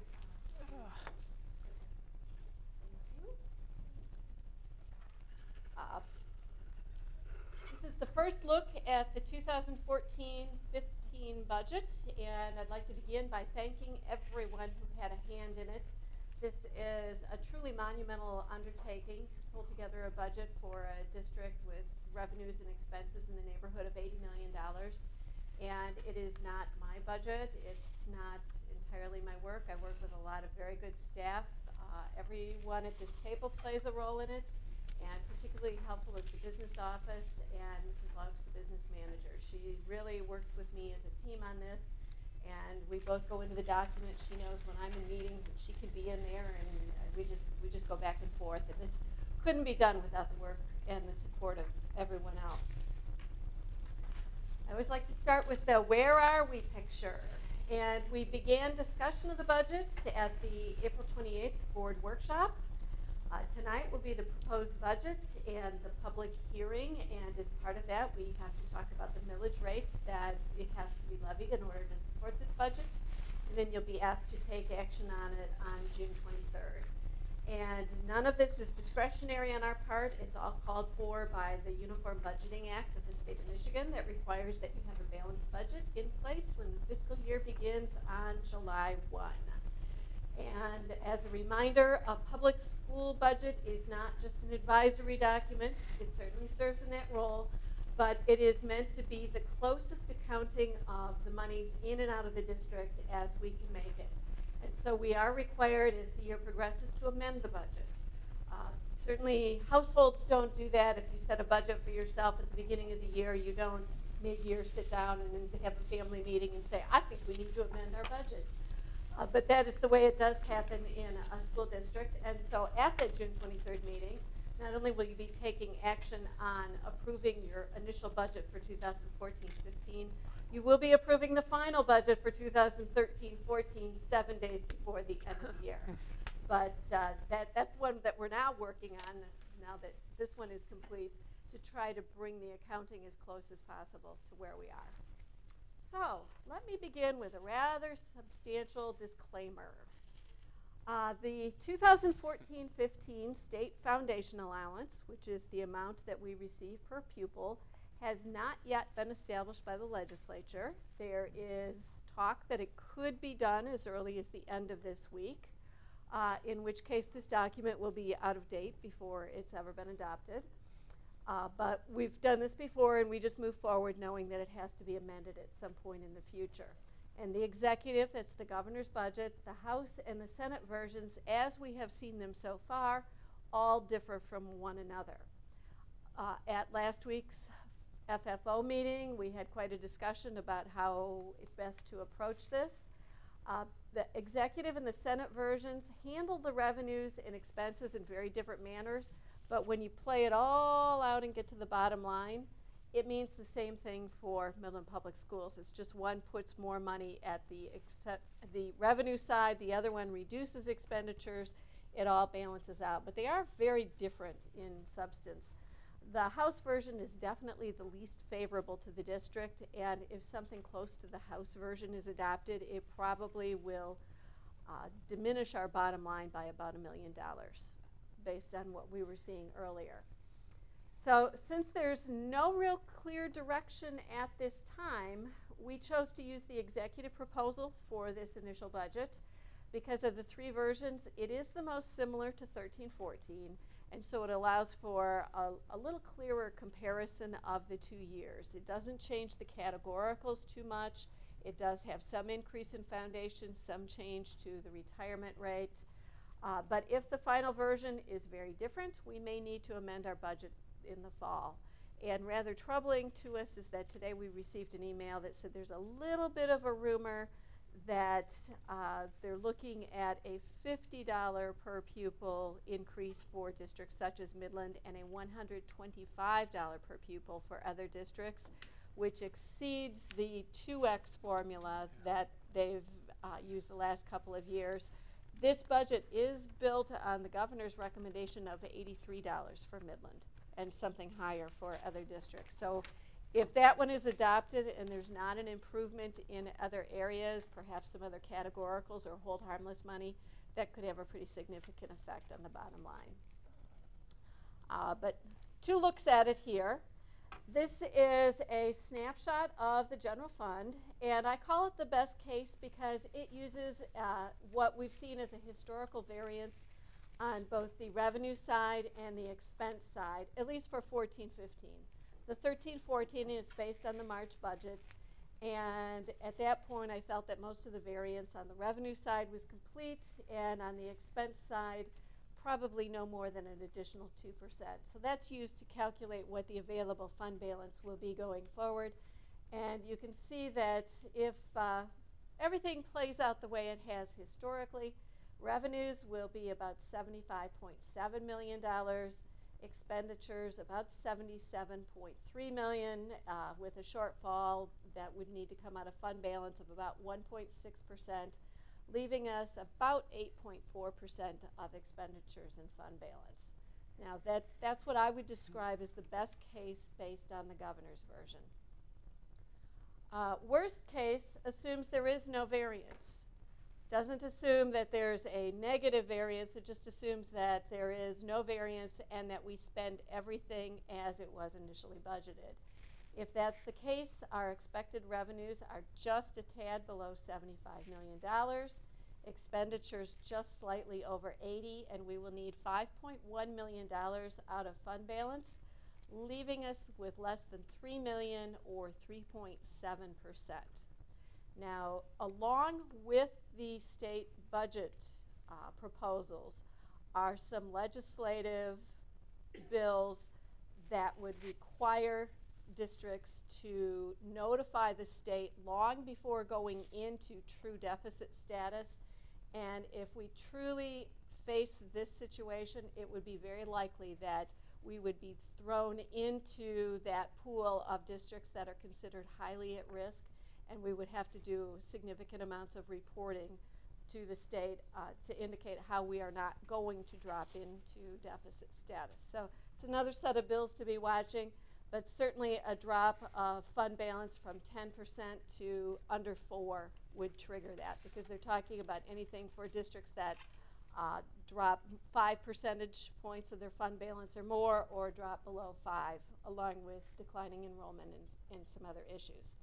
Now the formal document that you had in your packet was a mix. It wasn't the best case, it wasn't the worst case, it was about halfway in between and most of the remaining slides are based on that document as well. So it showed uh, not quite as much variance as the best case, uh, but a little bit more variance than, than the worst case. And it's more traditional, it's, it's what we've looked at in the past. So this is what the history of the fund balance has looked like over the years. Uh, going back to 2008, 2009, I like to use 08, 09 as a base year because that was our year of highest per pupil funding. Our per pupil foundation allowance was $8,904 per pupil. That's the highest it's been in the history of the district. And it was after that that we lost the 20J funding and the $470 per pupil, and we've been just very slowly crawling out of a hole since that time. Uh, so in 2008, 2009, you can see that revenues and expenditures were pretty well matched. Uh, in 910, we overspent very slightly, and that was a deliberate choice. The, the budget was adopted that way. 10 11 was a very favorable year for us, and we came in under budget and we were able to put a little bit into fund balance, and that has really helped in the last couple of years that we had that good year because you can see every year since then we have been taking more and more out of fund balance, and the, the gap you can see for this, this current year is larger than it was last year, which was larger than the year before. And this is despite cutting millions and millions and millions of dollars out of our budgets over the last decade. Uh, another picture just of the fund balance. You can see, that, now this goes back to the uh, beginning of Proposal A, when we first moved to per pupil funding and we're no longer reliant purely on our own local tax base. And you can see we've gone up, we've gone down. Uh, high point was about 03. And again, that was a deliberate choice on the part of boards because at that point we were facing three very, very significant appeals of taxable value that had the potential and did cost us many, many millions of dollars of interest once those appeals were settled. And in fact, you can begin to see where they were settled, a huge drop from the 07 to the 08 fiscal year, and that represented one of the larger settlements right there. Uh, so the boards specifically set some funding targets to put money into fund balance so that we would be able to address that when it came. But uh, unfortunately, I don't like the slope on the last five uh, bars there. It, it's far too consistent and I'd like to see a little bit more up and down there and definitely more up because we are at the point where if the fund balance truly drops down below $5 million, we may be in a position where we need to borrow money in the September timeframe between before the taxes come in and before that October state aid payment, late September, early October, could be a problem for us because having some fund balance doesn't prevent, present, uh, prevent borrowing. You need a pretty sizable fund balance in order to do that just because of the, the up and down nature of the cash flow. So here's the assumptions that went into building the 2014-15 budget. Uh, enrollment, working with Stanford Consultants, is down 149 in the blended count pretty close to the difference between incoming kindergarten, outgoing senior class. Uh, because we used the governor's executive proposal, we did include an $83 foundation increase, a $13.26 per pupil hold harmless categorical. The way uh, his proposal was that it would be the same amount we received this year. And this year, that's the amount that we've received, and it was to guarantee that after they eliminated one of the categoricals last year, we actually would still have a net foundation increase. So for us, uh, it was $13.26. Uh, we continue to qualify for the performance incentive, and this is for mathematics performance in grades 3 through 8 on last year's MEAP. Uh, they've already published the table saying that we qualify for that. Now, some of the versions of the budget eliminate that as do some versions eliminate the per pupil funding for best practices, or one of the versions created so many best practices that will be so difficult for districts to reach that if that version is adopted, we would have to take that money out because we probably couldn't qualify. So they really go back two years to reward you per, per Yes. performance. Yeah, and they. Interesting. Uh, they also reward for reading, yeah, so there's absolutely nothing you could do today. It's unlike the best practices Mhm. where you might be able to take some Right. action to qualify. No. And the reading, uh, similar calculation, we don't qualify in the reading. The high school calculation is the most convoluted formula I think we've ever seen. Mr. Cooper and I looked into it. We even talked to the person who handles it at the state. There is nothing that we can do at the local district to forecast or predict whether we would ever qualify for the high school money. So when I put that up there, it's because the state has published a table that shows what districts would qualify for what. Uh, but at the high school level, it, it's all based on slopes and standard deviations at the state level that are not published numbers. Uh, we have no idea of figuring out where we even are relative to that, whether we're close or whether we're far away. But we do know it's in print that we qualify for the performance incentive for math, for 12, 13. Uh, and then the governor eliminated the MPSERS, that's the Michigan Public School Employees Retirement System, cost offset categorical, but did change the employer capped rate and reduced it. So that's also reflected, it, that's not, well, it's both a revenue assumption and an expenditure assumption because I use that rate in calculating what the expenses would be. So here's what enrollment looks like. And the last time, uh, before I pulled this table together and actually looked in our data system to see where registrations were, it looked like we were on target to hit these numbers. You, you can see small drop at elementary. Elementary has just about stabilized. You can see what a drop has occurred from the 08-09 year to 14-15. And you can also see how that drop has almost flattened. Uh, it's now affecting the secondary. Again, a drop of over 100 at the secondary, and some slight reduction in special education numbers, and some of that probably is a reflection of just the reduced overall enrollment. And what we noticed this year is that we didn't have any drop at all of any significance uh, from October to February. And so our blended count ended up being what our actual fall, you know, what our fall count was because the blended count is now 90% of October, 10% of the following October, or of the following February. So with that, I just carried forward what the anticipated en- enrollment was. And the change going back to 8 9 is almost a 15% reduction in enrollment, which then compounds the loss of revenue because not only did we actually lose per pupil revenue, but we lost pupils. And that's what the pupil graph looks like. Uh, this one again goes back to the beginning of Proposal A time period when the per pupil funding came into place. And the high point for the district was 9676, about a decade ago.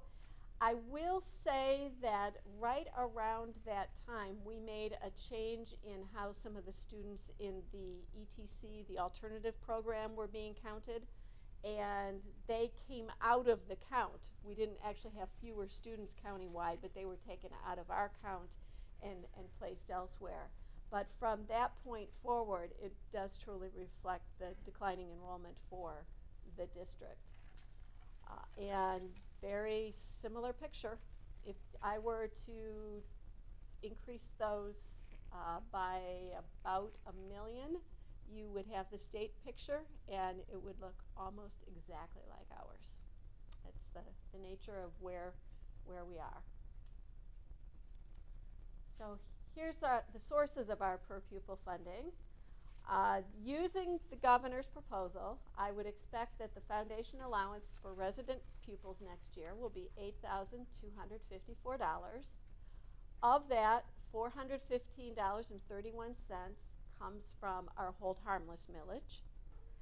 Uh, then $2,406.56 comes from the non-homestead millage. That's the 18 mills or the six mills on commercial property.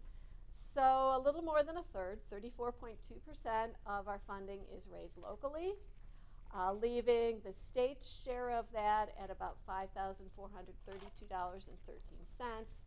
And you can see that over time, the state share has dropped from 73.3% down to 65.8%. Part of that is the result of the loss of the 20J funding. Part of that is the result of just overall reduced funding. And then part of that is the state share drops as local property tax values increase. And Linda, thank you for making that point. I'd, I'd like to make that to the public here ourselves. If tomorrow property values in Midland doubled and your local taxes that you are paying doubled, it doesn't mean our revenue goes up. The state just turns down the knob on they what contribute to a fixed number. So it, it's, it's irrelevant to some degree where it comes from to MPS. It's, Yeah. uh, it's, if we're, if our taxpayers donate nicely, the state donates equally less nicely. Uh, and, and that is a dial that only turns one way. Yes, Because exactly. if our taxpayers should decide not to renew the hold harmless and the non-homestead millages, which are up for renewal next year, all of this goes away. The state does not increase its share. It just says, oh, well, figure it out. Too bad. Uh, you know, here's what you should be getting, and here's what we calculate you should be collecting, and whether you collect it or not is not our problem. This is what our share is that we owe you. And make a point that this is just the general, the six mills. This isn't what we just voted on. You know, that is Yeah, it's extra. not the Correct. enhancement Yeah, yeah, so millage. that people Correct. don't think that they just voted for No, no. something No. that No, is correct. not That is, really that is extra. Yes, so. Now, and in fact, this is probably a, a good time to do a quick segue into the tax rate, since that's going to be part of the uh, hearing. And the, the tax rates that this is based on assume that the hold harmless amount will be 1.7399 mills. And there's a convoluted set of calculations that create that number, but based on taxable values as we know them today, that's what it will be. Uh, and that this number, the non-homestead, is made up of six mills on commercial personal property and 18 mills on non-homestead. And, and those are all approved amounts at this point, but they are up for renewal next year. Hey, Linda, this is an esoteric point, but I just caught my curiosity. Is there anybody in the state whose local millages are greater than the foundation allowance? Yes, there are. It's not an esoteric point. There are still a handful of districts that are considered to be out of formula. Uh, many of them were capped at an amount lower than 18 mills back in 1994. But as long as that capped amount raises at least the foundation, they are able to collect what that is. The two that I know of for certain are Northport and Glen Lake. Those are both out of formula districts. They get no state aid payment. Uh, they rely entirely on their local millage. Now, they're not able to raise that millage, but it raises more per pupil Than the state. what their state allowed Interesting. amount would be. So there is, I think there's probably fewer than a dozen districts in, in that boat, but there are still a few. We used to be one of those prior to Proposal A.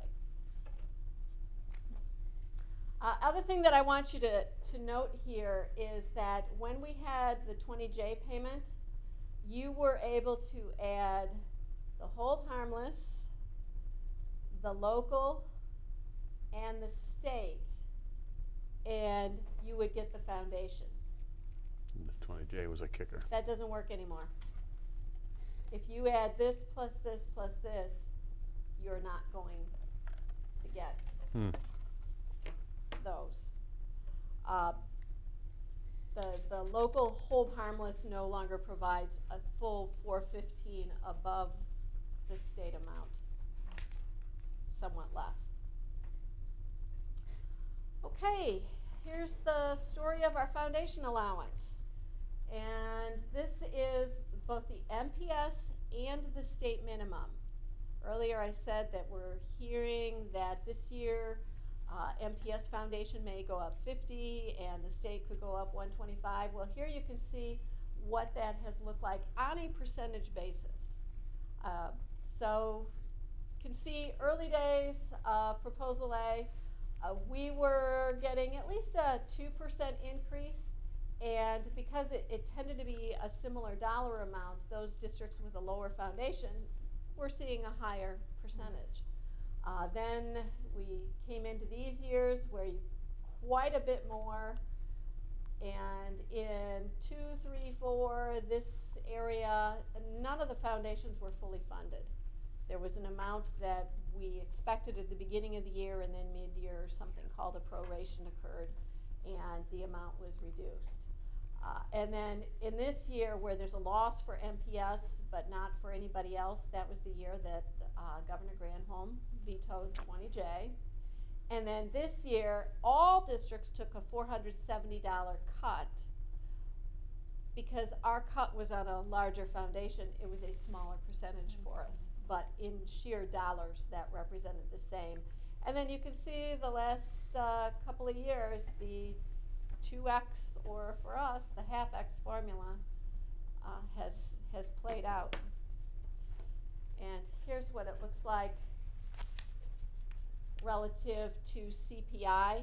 And over this time period, and this is about a decade, our foundation is actually seven tenths of a percentage point lower than it was a decade ago, whereas CPI is 25.7% higher, which Killer. explains why we've had the difficulty, despite cutting tens of millions of dollars, getting a balanced budget.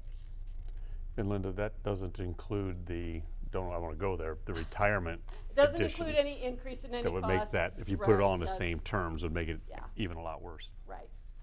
And, whoops, I make this graph every year just to depress myself. Yep. Um, and it's getting worse and worse. This, this takes our very first post-proposal A foundation, $6,915, and just shows what it would be if it had followed traditional inflation. It would now today be somewhat over $11,000. Instead, it's down here. You can see it's lower than it was all the way back to about the 0102 time frame. Had it kept pace with inflation, we would have $21 million more in the budget at the current enrollment. So even with loss of enrollment, we'd have $21 million more. Pretty significant. All right, shifting into the details of the budget. Here's what that almost $75 million worth of revenue looks like. 63% from the states, uh, about 26% from our local property tax, a small slice, not even 2% from federal.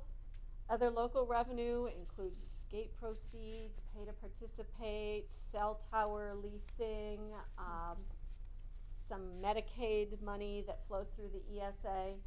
Transfers includes the enhancement millage, that's over $3 million. And it also includes the other monies that come from the ESA, the Act 18 special education millage.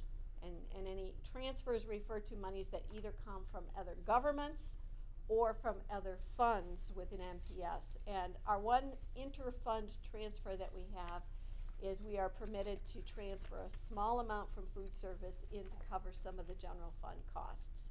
And I believe that number is about $5,000. So most of those transfers are, are coming from the ESA. And the largest share of those would be the enhancement millage. Okay, talk a little bit more about the expenditures. And these are personnel related expenditure assumptions. We'll go into some of the, the other areas a little bit later. Uh, the largest change is that the MCA salary has been reduced by 2%, and that's because the contract contains a formula that provides for an adjustment ranging from negative 2 to plus 1, pending the outcome of the audit. And I've been doing preliminary estimates based on adopted budgets along the way, and it looks as if there will be a full 2% reduction on the scale. Calculation is actually something higher than that, or greater than negative 2%. Um, so I think it will reach that, that capped amount, but we won't know for sure until probably August or September. Uh, for any employee groups that have them, there are steps and merit increases that are built in. There are no other wage scale adjustments, and Mr. Sherrill will be going over the salary letter uh, following this. Teaching FTE is reduced by a total of 12.4. Most of that happened through attrition. Very, very, or voluntary reductions. We had teachers requesting reductions in contract. Uh, I think it, it came down to just the tiniest potential reduction, and quite honestly, it could be very different by the time we get to fall. So, uh, you know, for all intents and purposes, virtually no layoffs this year.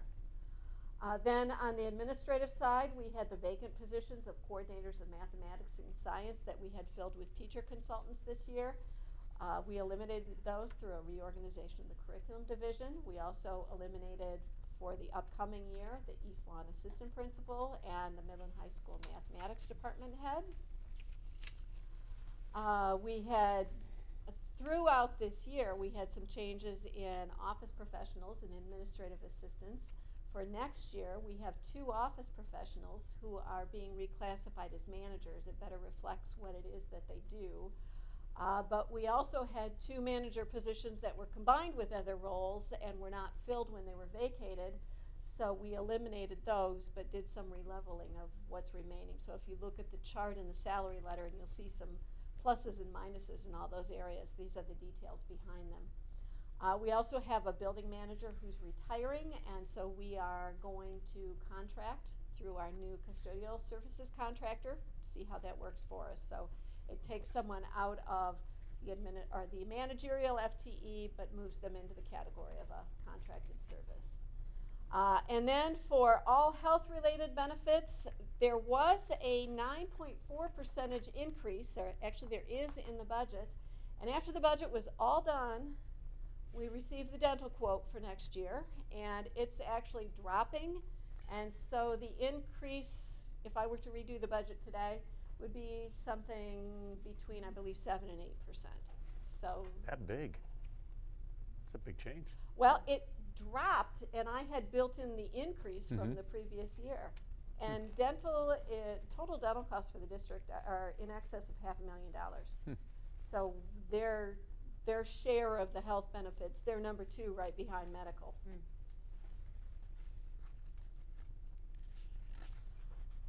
So on the staffing side, this is what it looks like.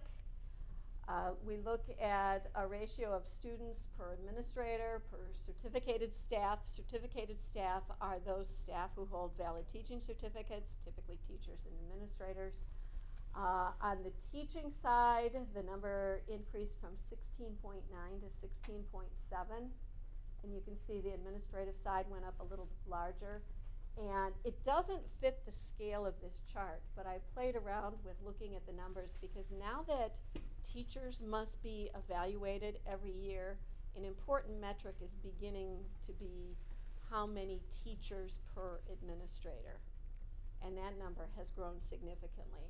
Um, but it doesn't fit either one of these scales, and so I, I left that one off, but that's something to consider in the future. Um, it, it, that is something that's gone up. Um, let's see, oh, I do have my dental number, 8.9%. And the uh, teaching relatively flat there. The teacher to administrator ratio has gone from 12.1 to 13.7. All right, more expenditure assumptions. Overall in the budget, it's 2.9% smaller than the current adopted 13-14 budget. There was a 2.1% reduction in the personnel related costs. Those are wages and benefits. That represents 85.2% of the budget. Non-personnel costs, we were able to reduce more, 7.3%, but unfortunately, that's less than 15% of the budget, so it doesn't represent as many dollars. Uh, every department was charged with reducing its budget by 5%, which they did. Our new custodial contract will save us 11% in the cost of that contract. Uh, we did have a 6.9% increase in our special education tuition that we will pay to the ESA, but that is offset by an increase on the revenue side. So bottom line, uh, we're actually a little better off next year than we are this year. A little more revenue relative to the increased expense, but we still owe more than we're getting back. But the um, increase in revenue was about 73,000. That's what they estimate for us next year. And here's what it looks like if we go area by area. You can see in salaries and wages, we've reduced 1.7 million. Some of that is actual reduced wages, that 2% for the teachers. Some of it is reduced FTE. We're paying fewer people, and some of those people we will be paying fewer dollars than we did this year. Uh, benefits increased, and I should tell you that a very large component of this number, al almost 10% of that number, is a payment that goes directly to MPSERS that is offset by an identical amount of revenue. And so uh, if you look through the details, you'll see a particular line item of 2.2 some million dollars that amount had to be spread throughout all the expense accounts as well. So it doesn't reflect the current retirement cost. It, it's the it's a way that the, the state is dealing with the unfunded liability.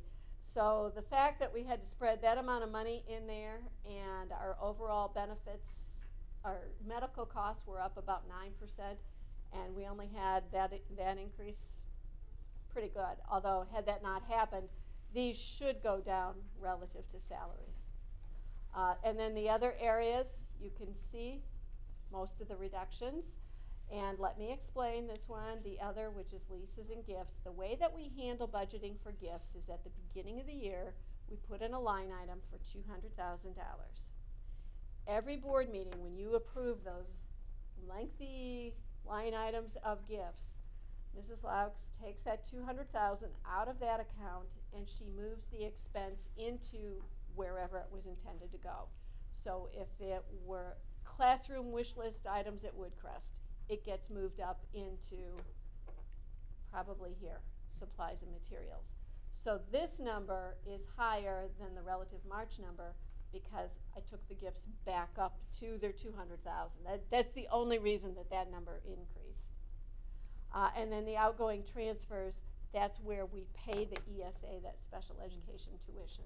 So that, that's in there as well. But other than that, I'd say everybody did a pretty good job of reducing their expenses. Uh, and then this is what it looks like by function, 65% for classroom instruction, another 5.5% for student support, 5.9% instructional support. And the difference is student support are those services that go directly to students, occupational therapy, physical therapy, speech therapy, social work, psychologists. Uh, instructional support will be uh, technology and some of the special services. Uh, like you saw Mr. Paris here, he's considered instructional support, curriculum division, all of that, supporting the teachers in the, the classrooms. And then you can see central office represents 1.1%, building administration 5.6, support services, uh, that would be HR and non-instructional technology the, the biggest components there. And then you can see maintenance, transportation, everything else adds up to 12.9%. And then the other way we look at it is always by account and salaries about 55.6%, FICA 4.2, retirement because of that big chunk that we receive the revenue and then have to pay it back, is now sixteen point three percent of the entire budget. Medical, 7.4, the other benefits, 1.7, and then everything else, purchase services, repairs, supplies, utilities are over in this category. Capital outlay, any technology purchases, technology licensing, everything is in there. And again, the outgoing transfers, that would be where we pay the special education um, tuition. So, other than the fact that we don't know what the actual per pupil amount is going to be, and we don't know what the State Aid Act is going to say, the other area that always is a source of variance and a source of concern is our medical cost because it is volatile. We are self-insured, so there is not a set premium, although that has worked well for us. We're not interested in having a set premium, but it does create some variability, and you can see in this current year, this is one of our higher years in total. The, the blue bar is the medical, and the brown bar is the pharmacy, and so combined we get a per member per month cost and this is, right now we're on target for about our third highest cost over since the time that we've been self-funded.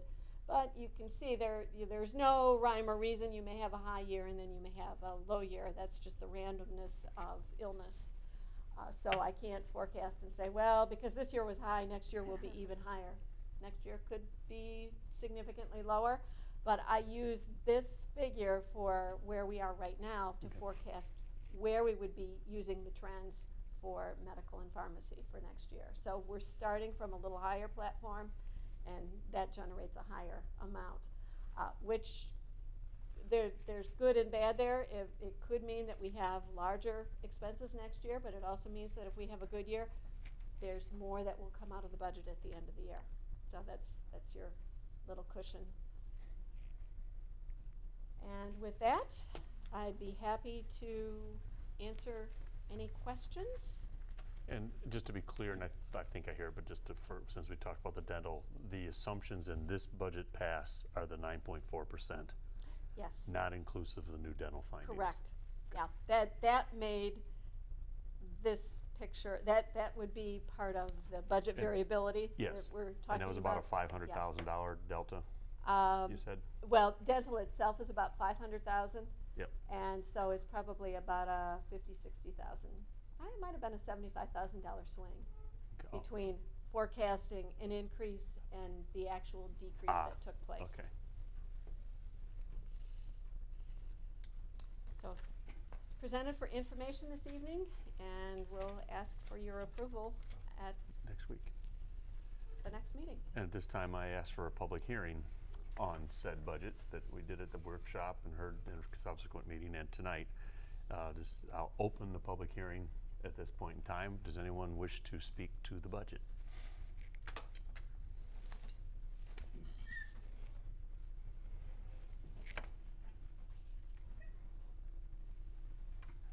And Mark, I think you know the drill. Yep. Hi, uh, Hello?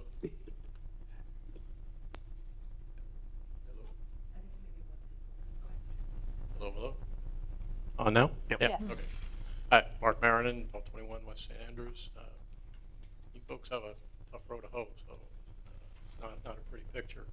I guess four things real quickly. Um, One is, it'd be nice to see a budget that did make that slope change a little bit. Um, I think it probably would also be a, a good service to the public if you came up with budget that said, if we had to keep our cash balance flat, here's what we would do, and give people some idea of, of what's coming down the road, because it's coming very fast. Uh, Third one is, I suspect you're already doing it, but it would be interesting to know what's going on with our elected representatives and lobbying efforts to try to change the picture that we're seeing.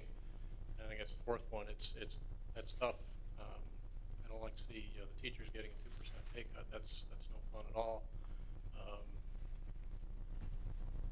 I have no idea how good their 403B plan is, but is there anything that can be done to give them, you know, lower, lower fees in their 403B plans or, you know, anything at all to ameliorate the sting? So, good luck. Thank you. Thank you. We'll take all the luck we can get. Mike, give a comment? Oh, well, one of the things I think, uh, what's coming down the road, I mean, Linda's slides show that pretty well. 85% is, is salary and wages. Um, we've cut the other 15, 85% has grown, partly because of retirement costs going up, medical costs, but it's also because we've cut all the other areas to nothing. And so it- there's not a whole lot of areas left to go besides salary and wages. And so, I mean, that's to make it as clear as it can be. Um, and to build a budget that reflects that is nearly impossible because we have to negotiate all that yet to come. And so really don't know what that outcome is going to be when we get there. So it, it school finance is what it is. It's a messy picture as we go forward. Mike, that's a great comment for Mark particularly. And the other one I would add is Linda touched it, and we've harped on it before, but since Mark commented, um, what we have to pay for retirement is ungodly. And all it does is tell you how underfunded the pension fund is. Um, you know, we're paying 16% of every dollar in payroll for retirement, paying 9% on Uh, medical. It's more than 60. Yeah. Say we're Yeah, paying oh, about I'm sorry. 25%. 30, Yeah, 28, yeah. yeah, yeah, 25%, I'm sorry. That was the 60% of the budget. budget, yeah, not the percent of budget. percent of the pay. 25%, of- Yeah. 25, 26, isn't it? Somewhere of payroll. And remember, the state, the state owns that. We have no control over it. Yeah, no control.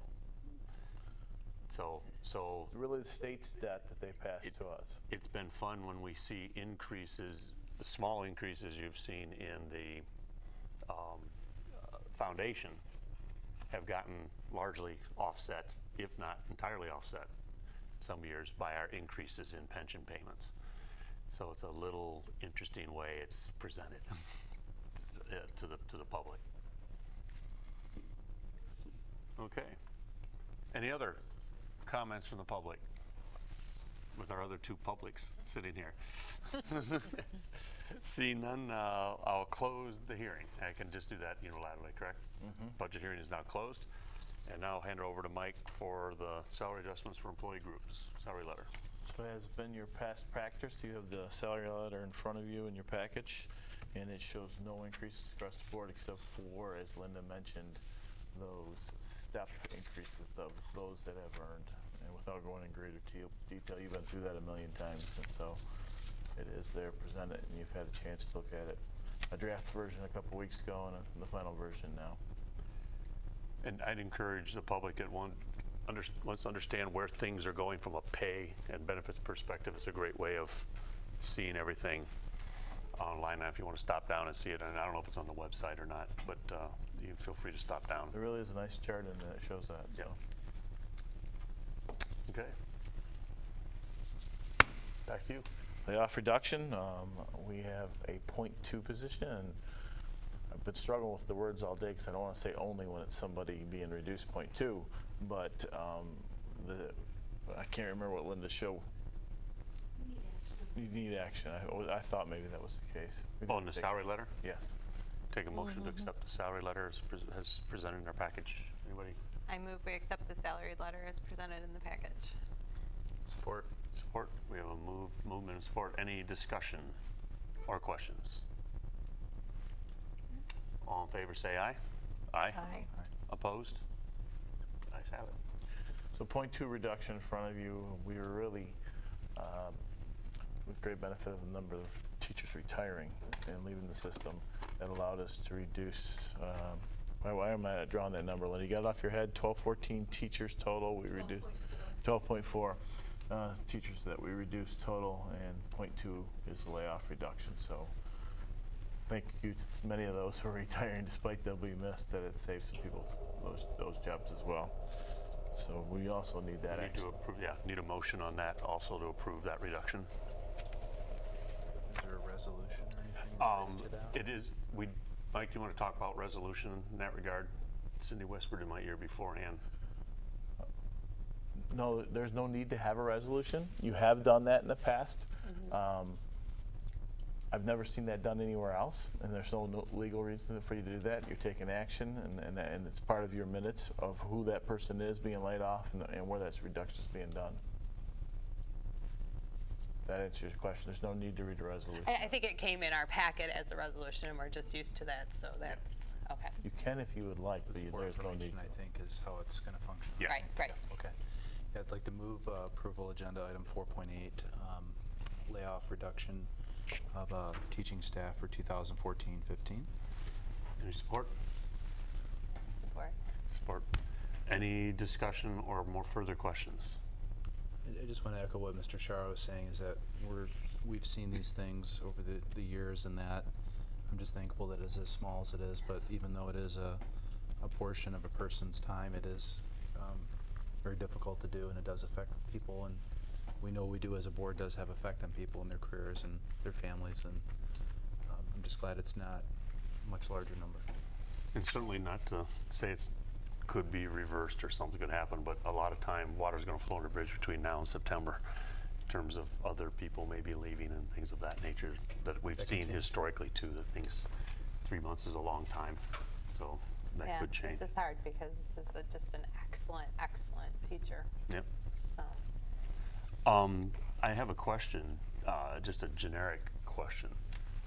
With the, um, with the requirements of specific skills now required for specific teaching roles, and as we shrink in size in terms of staff, et cetera, are you finding or anticipating difficulties going forward of having highly qualified staff and being able to position things with layoffs versus what's needed with the requirements of certain teachers in certain positions? Do you see that as a a pending issue at all? Well, uh, I'm not sure exactly your question, but math and science are usually Yes, our yeah. hardest mo- areas to fill. I, I'm- I think special ed's kind of become less of a problem through the years in personnel. And Gary's really not here, that's his area of expertise, but no, I really don't anticipate that Okay. still. And it's not like your, any of your buildings are gonna be, it's, high schools certifications are the ones that usually cause you Mhm. problems, and number of preps a teacher can teach, but your high schools are still gonna be large enough, you know, To have that critical mass? and so we're kind of a much smaller district where, and sometimes it does get difficult, but you make it work. Okay. Yeah, I- I just thought of one other question is that, um, is there supports in there for staff to get additional certifications so that they can maybe, as the need for maybe their certification in a particular area, can they cross-train or go into other areas? There are opportunities like that out there? There's always opportunity for them to take that up if they would like to. Additional education and, okay. Yep. And the key is having the foresight to know things could happen in the future based on where you're at. well, and I think there's some that already do that. Have done that, I mean, they're- exactly. they're- yeah. Yep. Okay, any other questions? If none, I'll take a vote on that motion. All in favor, say aye. Aye. Aye. All opposed? The ayes have it. Uh, Superintendent contract review is the next thing on the agenda. Um, I'd remind everyone, all the board members, that uh, last December, we did Mike's, I- I'll call it formal, former performance review. Um, uh, In that, you're supposed to include student achievement, but Mike hadn't been here for an academic year to base that upon. Uh, State law requires that. Um, We gave him a preliminary evaluation that was very good. And his first contract year is now uh, coming to a close here on June 30th. And it- historically, not by law, but historically, we have always tied performance to contract provisions. And so reflecting back on um, the fact that we've now one year gone on the contract and Mike's performance that we highlighted in December, um, I want to bring to the board the notion, and, and has been expressed to me by a variety of board members, to extend Mike's contract after the first year, as has been the history in Midland Public Schools. And I would just highlight at first several of the major accomplishments we've seen from Mike, and I'm going to be shortcut the list here quite a bit. Uh, very quickly, when he came on board, he met with 60 community leaders right away. He's met with every member of building staffs. He's had uh, 50 non, he's attended 50 non-pub MPS community events since he's been here. And while he doesn't wave flags when he goes to MPS events, he's been to many, many, uh, many more than that MPS events. He's joined over half a dozen community uh, uh, leadership organizations. He led the re- successful renewal of our countywide enhancement millage here a few months ago. He's created relationships with the foundations day one when he got here, resulting in the completion of the PYP grants we got for PYP-IB. Uh, he has created and executed a successful transition plan for the folks sitting right there at the table. and uh, was key to us with the top leadership of the district. Um, he's also created and starting in the starting phases of a possible IB preschool program uh, that has exciting things for us going forward. It was a very creative idea. And quick initiation of uh, a long-term facility evaluation and plan as we're going forward. And those are just a few comments I had.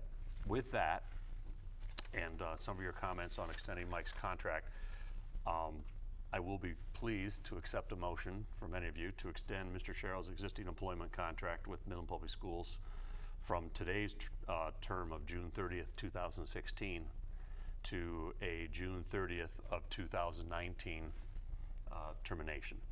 Uh, And that would all be effective July 1st of uh, this year. For abundance of clarity, all the other contractual terms such as compensation, benefits, duties, et cetera, remain unchanged uh, from the current contract. Uh, This effectively makes Mr. Sharrow's contract with MPS a five-year contract effective July 1st of 2014, which has been the history of MPS. And I uh, personally feel Mr. Sharrow's performance in our first year more than warrants our confidence in doing that with him. So at this point, I'd entertain such a motion from one of you in a second, and we can have a discussion from there. I'd be glad to motion and support that. Um, motion to extend Mr. Sharrow's contract for five years till 2019. Do I have a Support. second? I'll support it. Okay, beat you to it. Okay, we have motion and a, and support. Um, I'll open it for discussion. Where do you want to start? Lynn, I'll, I'll start with you. I'm happy to support that. I think Mike has uh, proven what an effective leader he is and, and very innovative. And I know when we um, had discussion and we were looking to hire a superintendent, that was a big um, factor, is Mike's innovation and um, creativity when it comes to all kinds of areas of um, being the superintendent of the schools. And I think MPS is very fortunate to have his leadership. Anybody else? I appreciate his uh, communication across the board. I think uh, it's wonderful to get out to the community and share what what's going on at MPS, and I, I see that as a huge benefit as well as your leadership and your um, your vision for the future and uh, doing more with less is what we're forced to do, and we need to be creative. And I think we've got a staff all around us that that supports that as well, and um, I'm very comfortable to have you at the helm. And I appreciate your enthusiasm for facing that challenge. I think that came through in your interview, and I still see that, and I really appreciate that a lot. I think that affects us all real well. I mean, it makes it seem better. John, you had your hand up? Yeah, y- y- you know, a lot of things have happened in a year, but I know Mr. Sharrow is, he's very patiently and, and quietly working to get the district prepared for where we need to go, and um, it does take time, and, and I, I think you're going to do that very well.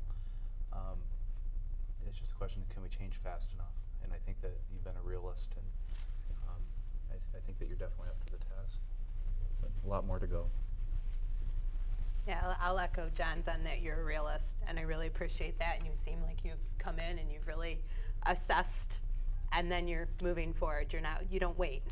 You actually take action, and on several different fronts. And I really appreciate that. And um, I mean, this was a big decision for us when we had to hire a new superintendent, and they say that's the most important thing that a board does. And I've been so pleased this last year, and that we made the right choice. Scott's not here tonight, but he did send me something he liked read into, into the record, so I will do that. Uh, Mike, I'm sorry I could not attend the meeting tonight. However, I feel it's important to express to you and the public at large some of my thoughts regarding the proposed contract extension. Over the past 11 months, you've accomplished more than I could have ever expected. To highlight some of your accomplishments include, and I won't read them all, but they listed several of the ones I've already commented on. He goes, I could go on and on, and I apologize if some of the above achievements have already been addressed by other board members. Mike, in short, my vote is an enthusiastic, humble, and grateful yes. Uh, I would be honored if you would accept the proposed contract extension as outlined by President Wasserman. So, uh, just want to show it, what Scott had to say. And Scott has personally told me, and he has said it at this table, so I'm not, uh, I'm not, um, feel like I'm divulging something I shouldn't divulge, uh, he'll, he'll constantly remind Mike that he was the one that was skeptical of Mike when he first hired on, and, and he says now, now I'm one of Mike's biggest fans. and uh, so uh, I just wanted to point that out. And I'll just pile on and say, Mike, um, as president board, you have a different relationship with the superintendent. Uh, you always do, especially with the hiring superintendent. And I've appreciated your candor. I've appreciated your cut through the morass of, I'll call it bureaucracy, just to get to the point, and not just cutting through it, but taking other people through it. And I get uh, great comments from people in the community that have met with you as you discuss issues and how you can get to the point very quickly with them. And, and that's a highly appreciated skill. And I think that reflects the communication skill that Pam was alluding to. So uh, as we have to go forward quickly and boldly, um, I'm, I think you've got skill sets, so I'm more than glad to have you and more than glad to keep you. and as a consequence, we'll ask for a vote to try to keep Mike for five years. Um, so, end of comments. With that said, um, we'll do a, we'll just do a voice vote. All in favor of the contract extension as outlined, uh, say aye. Aye. Opposed? None in opposition? Uh, unanimous vote. Congratulations, Mike, and thank you for being here. No, I, I'm- and thank you very much for having me, and um, it's one of my most dreaded moments sitting here because I think my parents were, would be sitting down and saying always to me, remain humble and go get the job done. And so I don't need many, I don't need many pats on the back. We got a lot of work to do, and let's get back at it and go do the good stuff we need to do for the kids in Midland Public Schools. Well, thank you. We look forward to that. I'll turn it back over to you. Okay, we are um, to construction manager, and um, we had we had put the RFP out oh, almost probably almost a month ago now, and we had seven uh, proposals in. Linda and I reviewed those to try to make those a manageable group to bring into the FFO.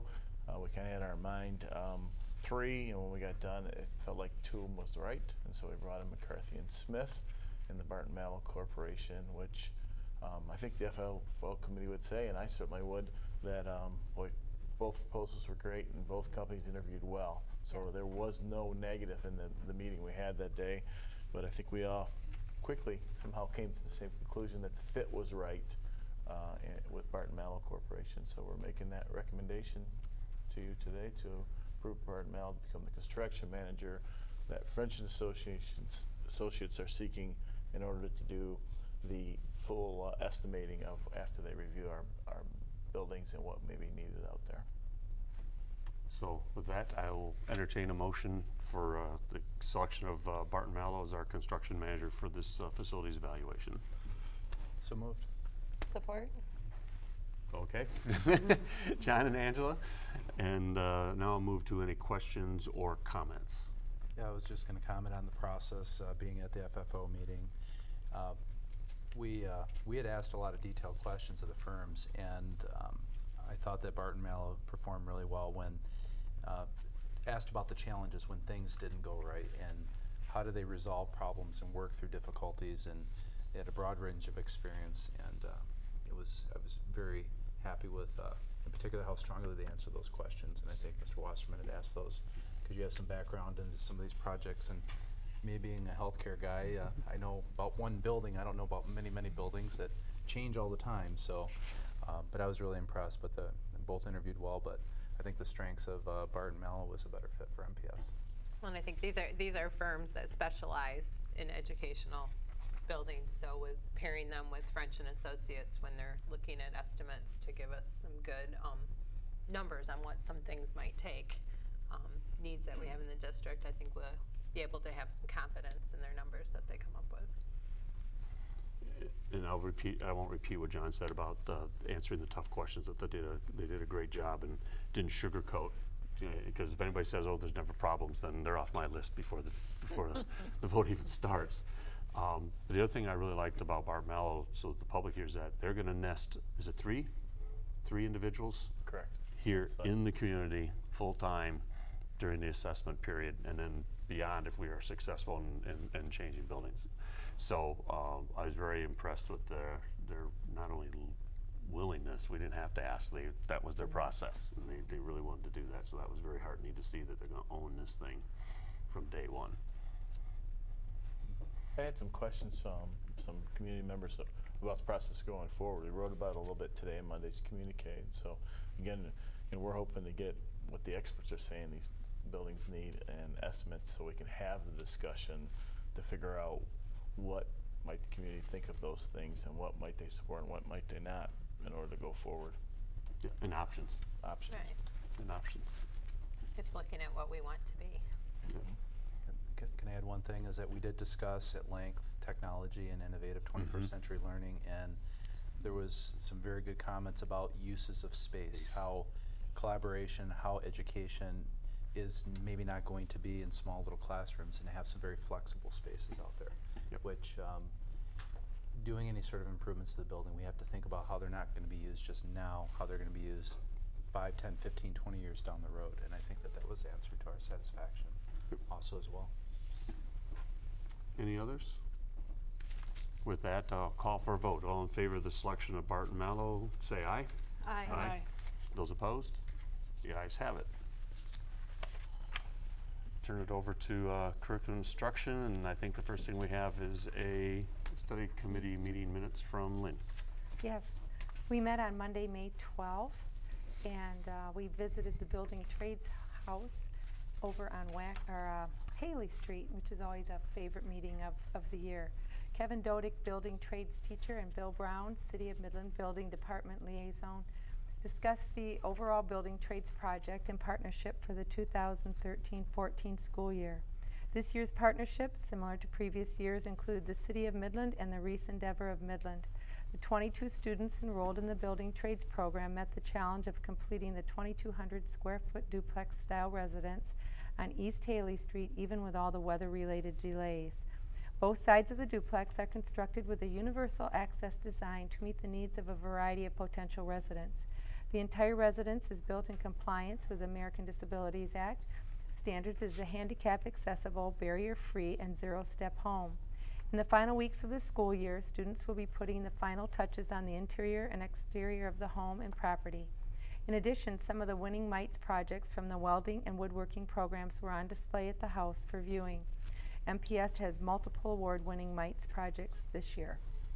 So I would just encourage people, if you're out and about, to uh, go down Haley Street. It's uh, built right kind of behind uh, the Disability Network and Habitat for Humanity.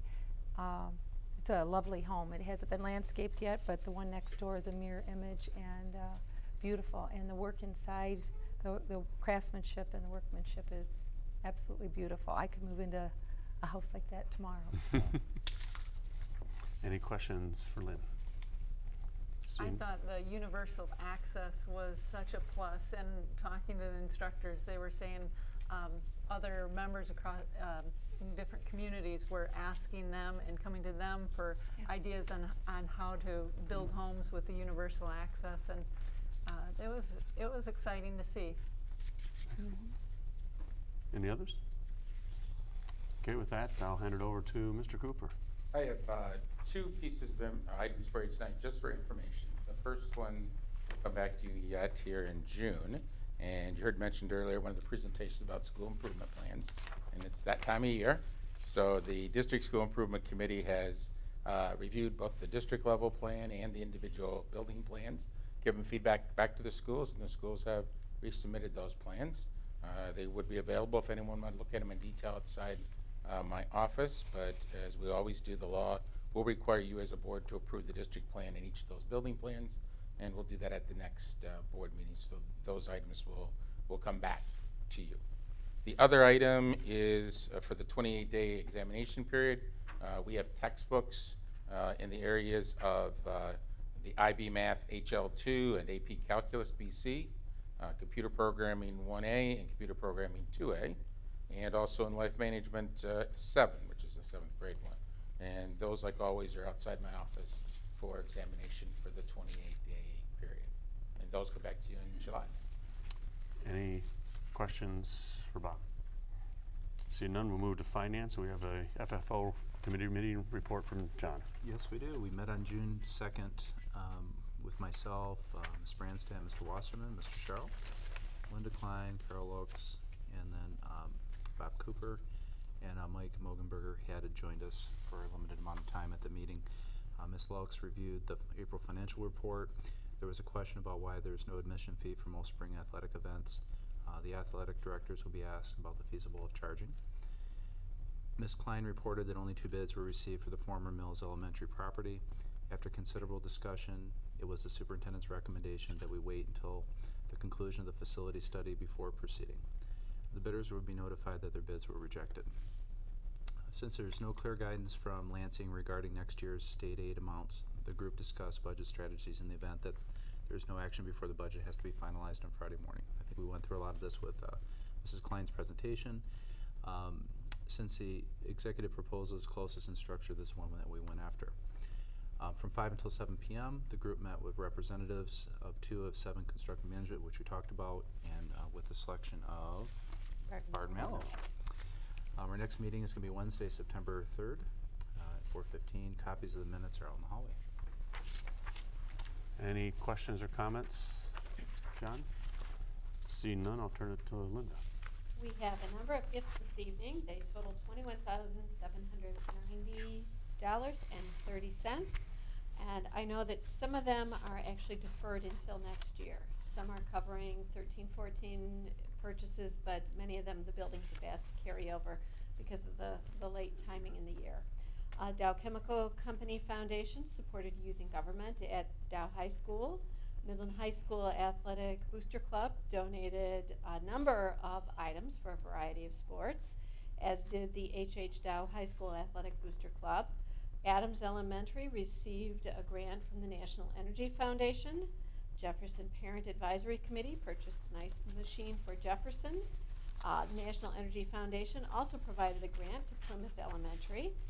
And the Midland Kiwanis Foundation supported classroom mini grants at Plymouth, Chestnut Hill, and East Lawn.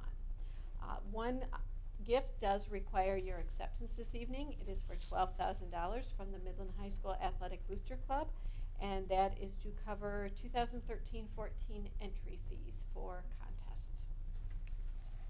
I will entertain a motion on item 6.3. I motion to accept uh, item 6.3, the acceptance of the $12,000 from Midland High for ath- entry fees for athletics. Do we have support? Support by Lynn.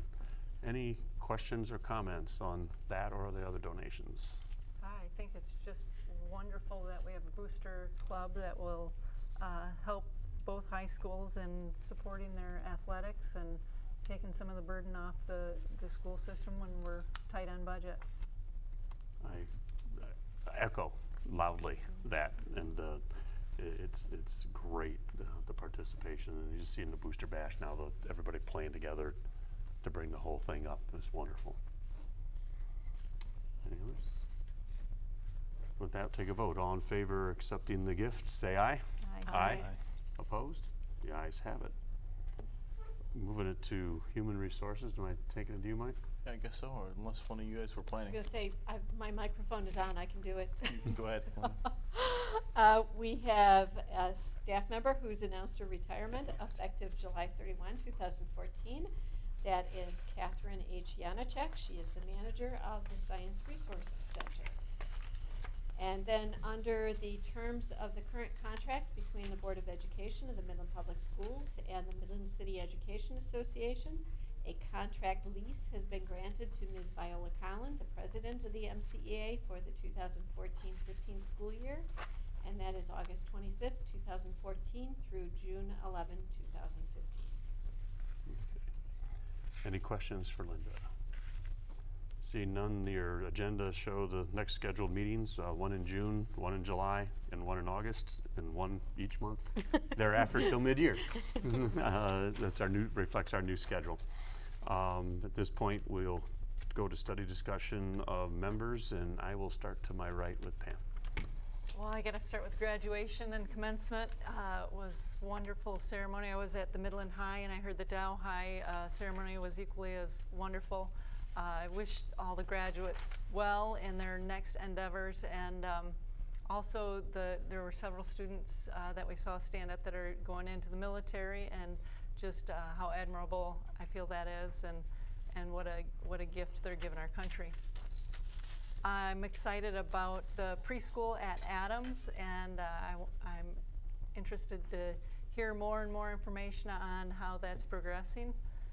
And I will All leave right. it to you. Yes, it was another fabulous Friday night with graduation. Um, I'm just always so impressed. I know I've um, was at Dow High and Pam gets up and just tells a lot of the accomplishments of the students, and it's just so amazing um, what these kids have accomplished. And then this year, it stuck in my mind. She always announces um, at Dow High they um, students were offered over eight million dollars worth of scholarships, and that just to me is overwhelming, and um, such a testament to what we provide here for them. And then um, just want to take this opportunity on a personal note to thank um, all my children's teachers again this year. It's just been just a fabulous year for them, and I just every year am more and more amazed at just not the basics of what they're learning, but when I look at some of the projects that they've done and just some of the I I guess you would call them extensions, things that I'm like, wow, we, you know, I don't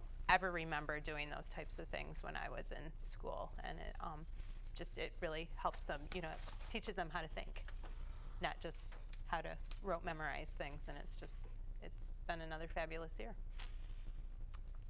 Okay. On to you, Don. On me, okay. Um, Just, you know, a couple comments on budget, and, you know, it's been years of reductions and, you know, millions of dollars. It's not enough to, you know, make the money in with the money out. Um, All those years that that's occurred, we've kept achievement up in this district. And I know we've got more work to do on that, and I definitely think that we're gonna continue to keep kids achieving graduation as those kids walk across the, the stage, their achievement was high, the scholarships, the, the accomplishments. But a lot of those students had been through a number of years of reductions, and I definitely think that we are going to do what it takes, no matter what the financial challenge. As the treasurer for the board, we will continue to get that job done. It's going to be a challenge, but the achievement and success MPS will continue no matter what the financial challenges are. So I just wanted to get that out. Not that it's going to be easy, or try to sugarcoat it. Um, I was really impressed with some of the innovations and solutions for the district coming from within and with the presentations today. I think that's great. Um, I'm glad that we've minimized personal personnel reductions with uh, the effect on as few people as possible. That that's really important. I know to all of us, uh, real people with real effects on their lives, um, and with the contact with our legislators about the budget and finances, I know we do have regular mechanisms in place. We do meet with our legislators on a regular basis. We do contact our legislators. You know, we could always contact them more, but that mechanism's in place. We continue uh, get updates from Michigan Association of School Boards, but also Mike, you keep us posted. There's there's always legislation i- i- going on. You know, there's always something related to budget and so forth. Um, but we do get those regular updates, and uh, and we we act on those. Um, and then thank you to the MPS team getting us through another year. I mean, everybody it takes it takes a whole team to make that happen, and uh, I'm very thankful that we've got a team that's able to work together despite the changes, doing more with less, and producing the quality. And then uh, lastly, just have a safe summer. I just want to say also congratulations to all the graduates and best wishes to all of you. And thank you for uh, letting me be part of handing you your diplomas. I get such a charge out of that. That is so much fun. So anyway, that was great. Um, also, I just want to say once more that our teachers just never cease to amaze me. These teachers from Siebert here tonight, I'm just, I just can't get over the things they can do. They're just amazing to me. So I really enjoyed their presentation tonight. Also, I've forgotten now, it's been so long we've been here. Um, oh, the ones from, uh, where did they come from? Northeast, yeah, okay.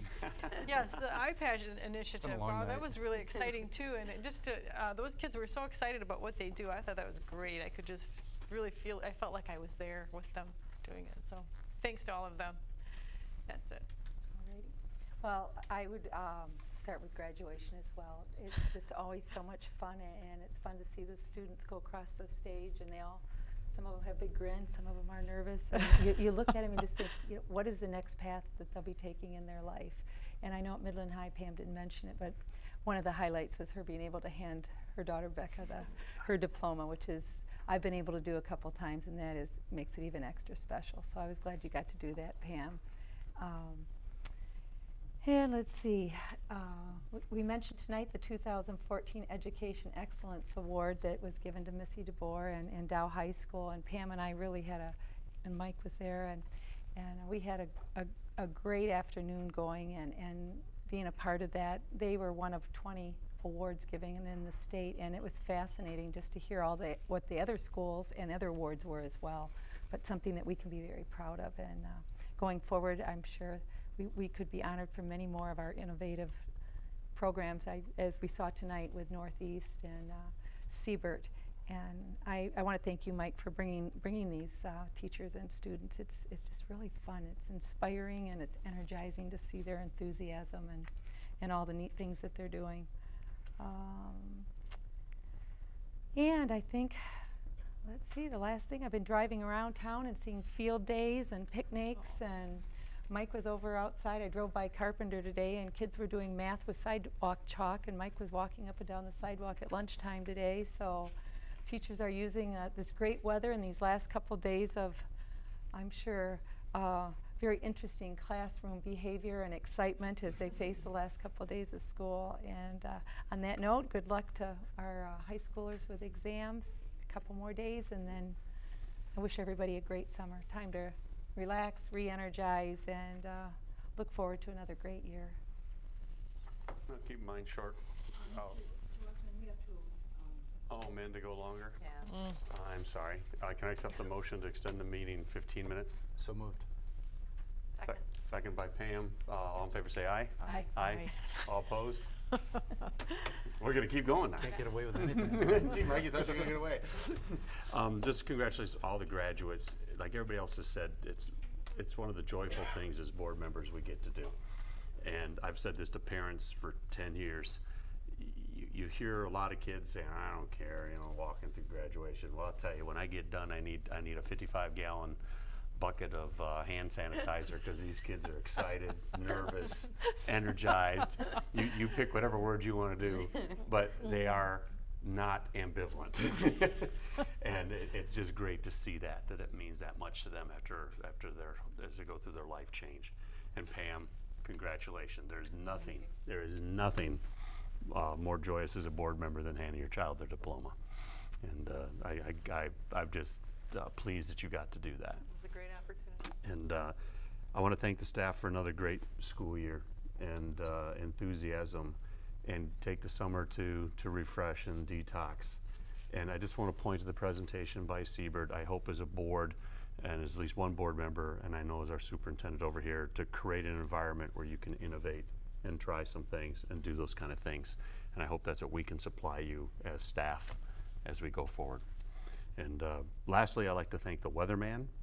And I think our whole staff would like to thank the weatherman because these 68 and 75 degree days uh, as we go into June and mid-June have been wonderful. And I am sure uh, that has uh, really enabled some of the things in the classroom to happen that may not happen if it hit 80s. So, Only this Mike. week we're thanking him. yes. Back, that caused Not the winter. Thursday. Yeah, not the winter. Yep. Uh, real quick, our third edition of the uh, Our Schools newsletter was out with the Midland Daily News um, this weekend. If you didn't get a chance to see that, we have extra copies in the administration building as well as any of you that would like to distribute those. I think we already hit John's office, so you know uh, any offices that you can put them in. They and- read 'em. Yes, They they, do. do. They're all And so we get that very well information done. out there. idea. Uh, we are working away at the preschool program. Lots of things going on. Brian, Linda, and and Luann are working real hard. Um, kind of threw that one quick. Talk about moving fast. They would agree with that when I decided to go ahead and move forward. So, but we're getting there, and we're definitely thinking we're going to be open in time. The biggest part is the whole certification of the room piece of it. That's kind of we can't say we're there until we get that piece done. So. Um, transportation staff, I wrote to you about how we had reorganized that, and that really came from our people, which is really nice. And so um, Jim Valerie's retiring, and we have two other employees out there.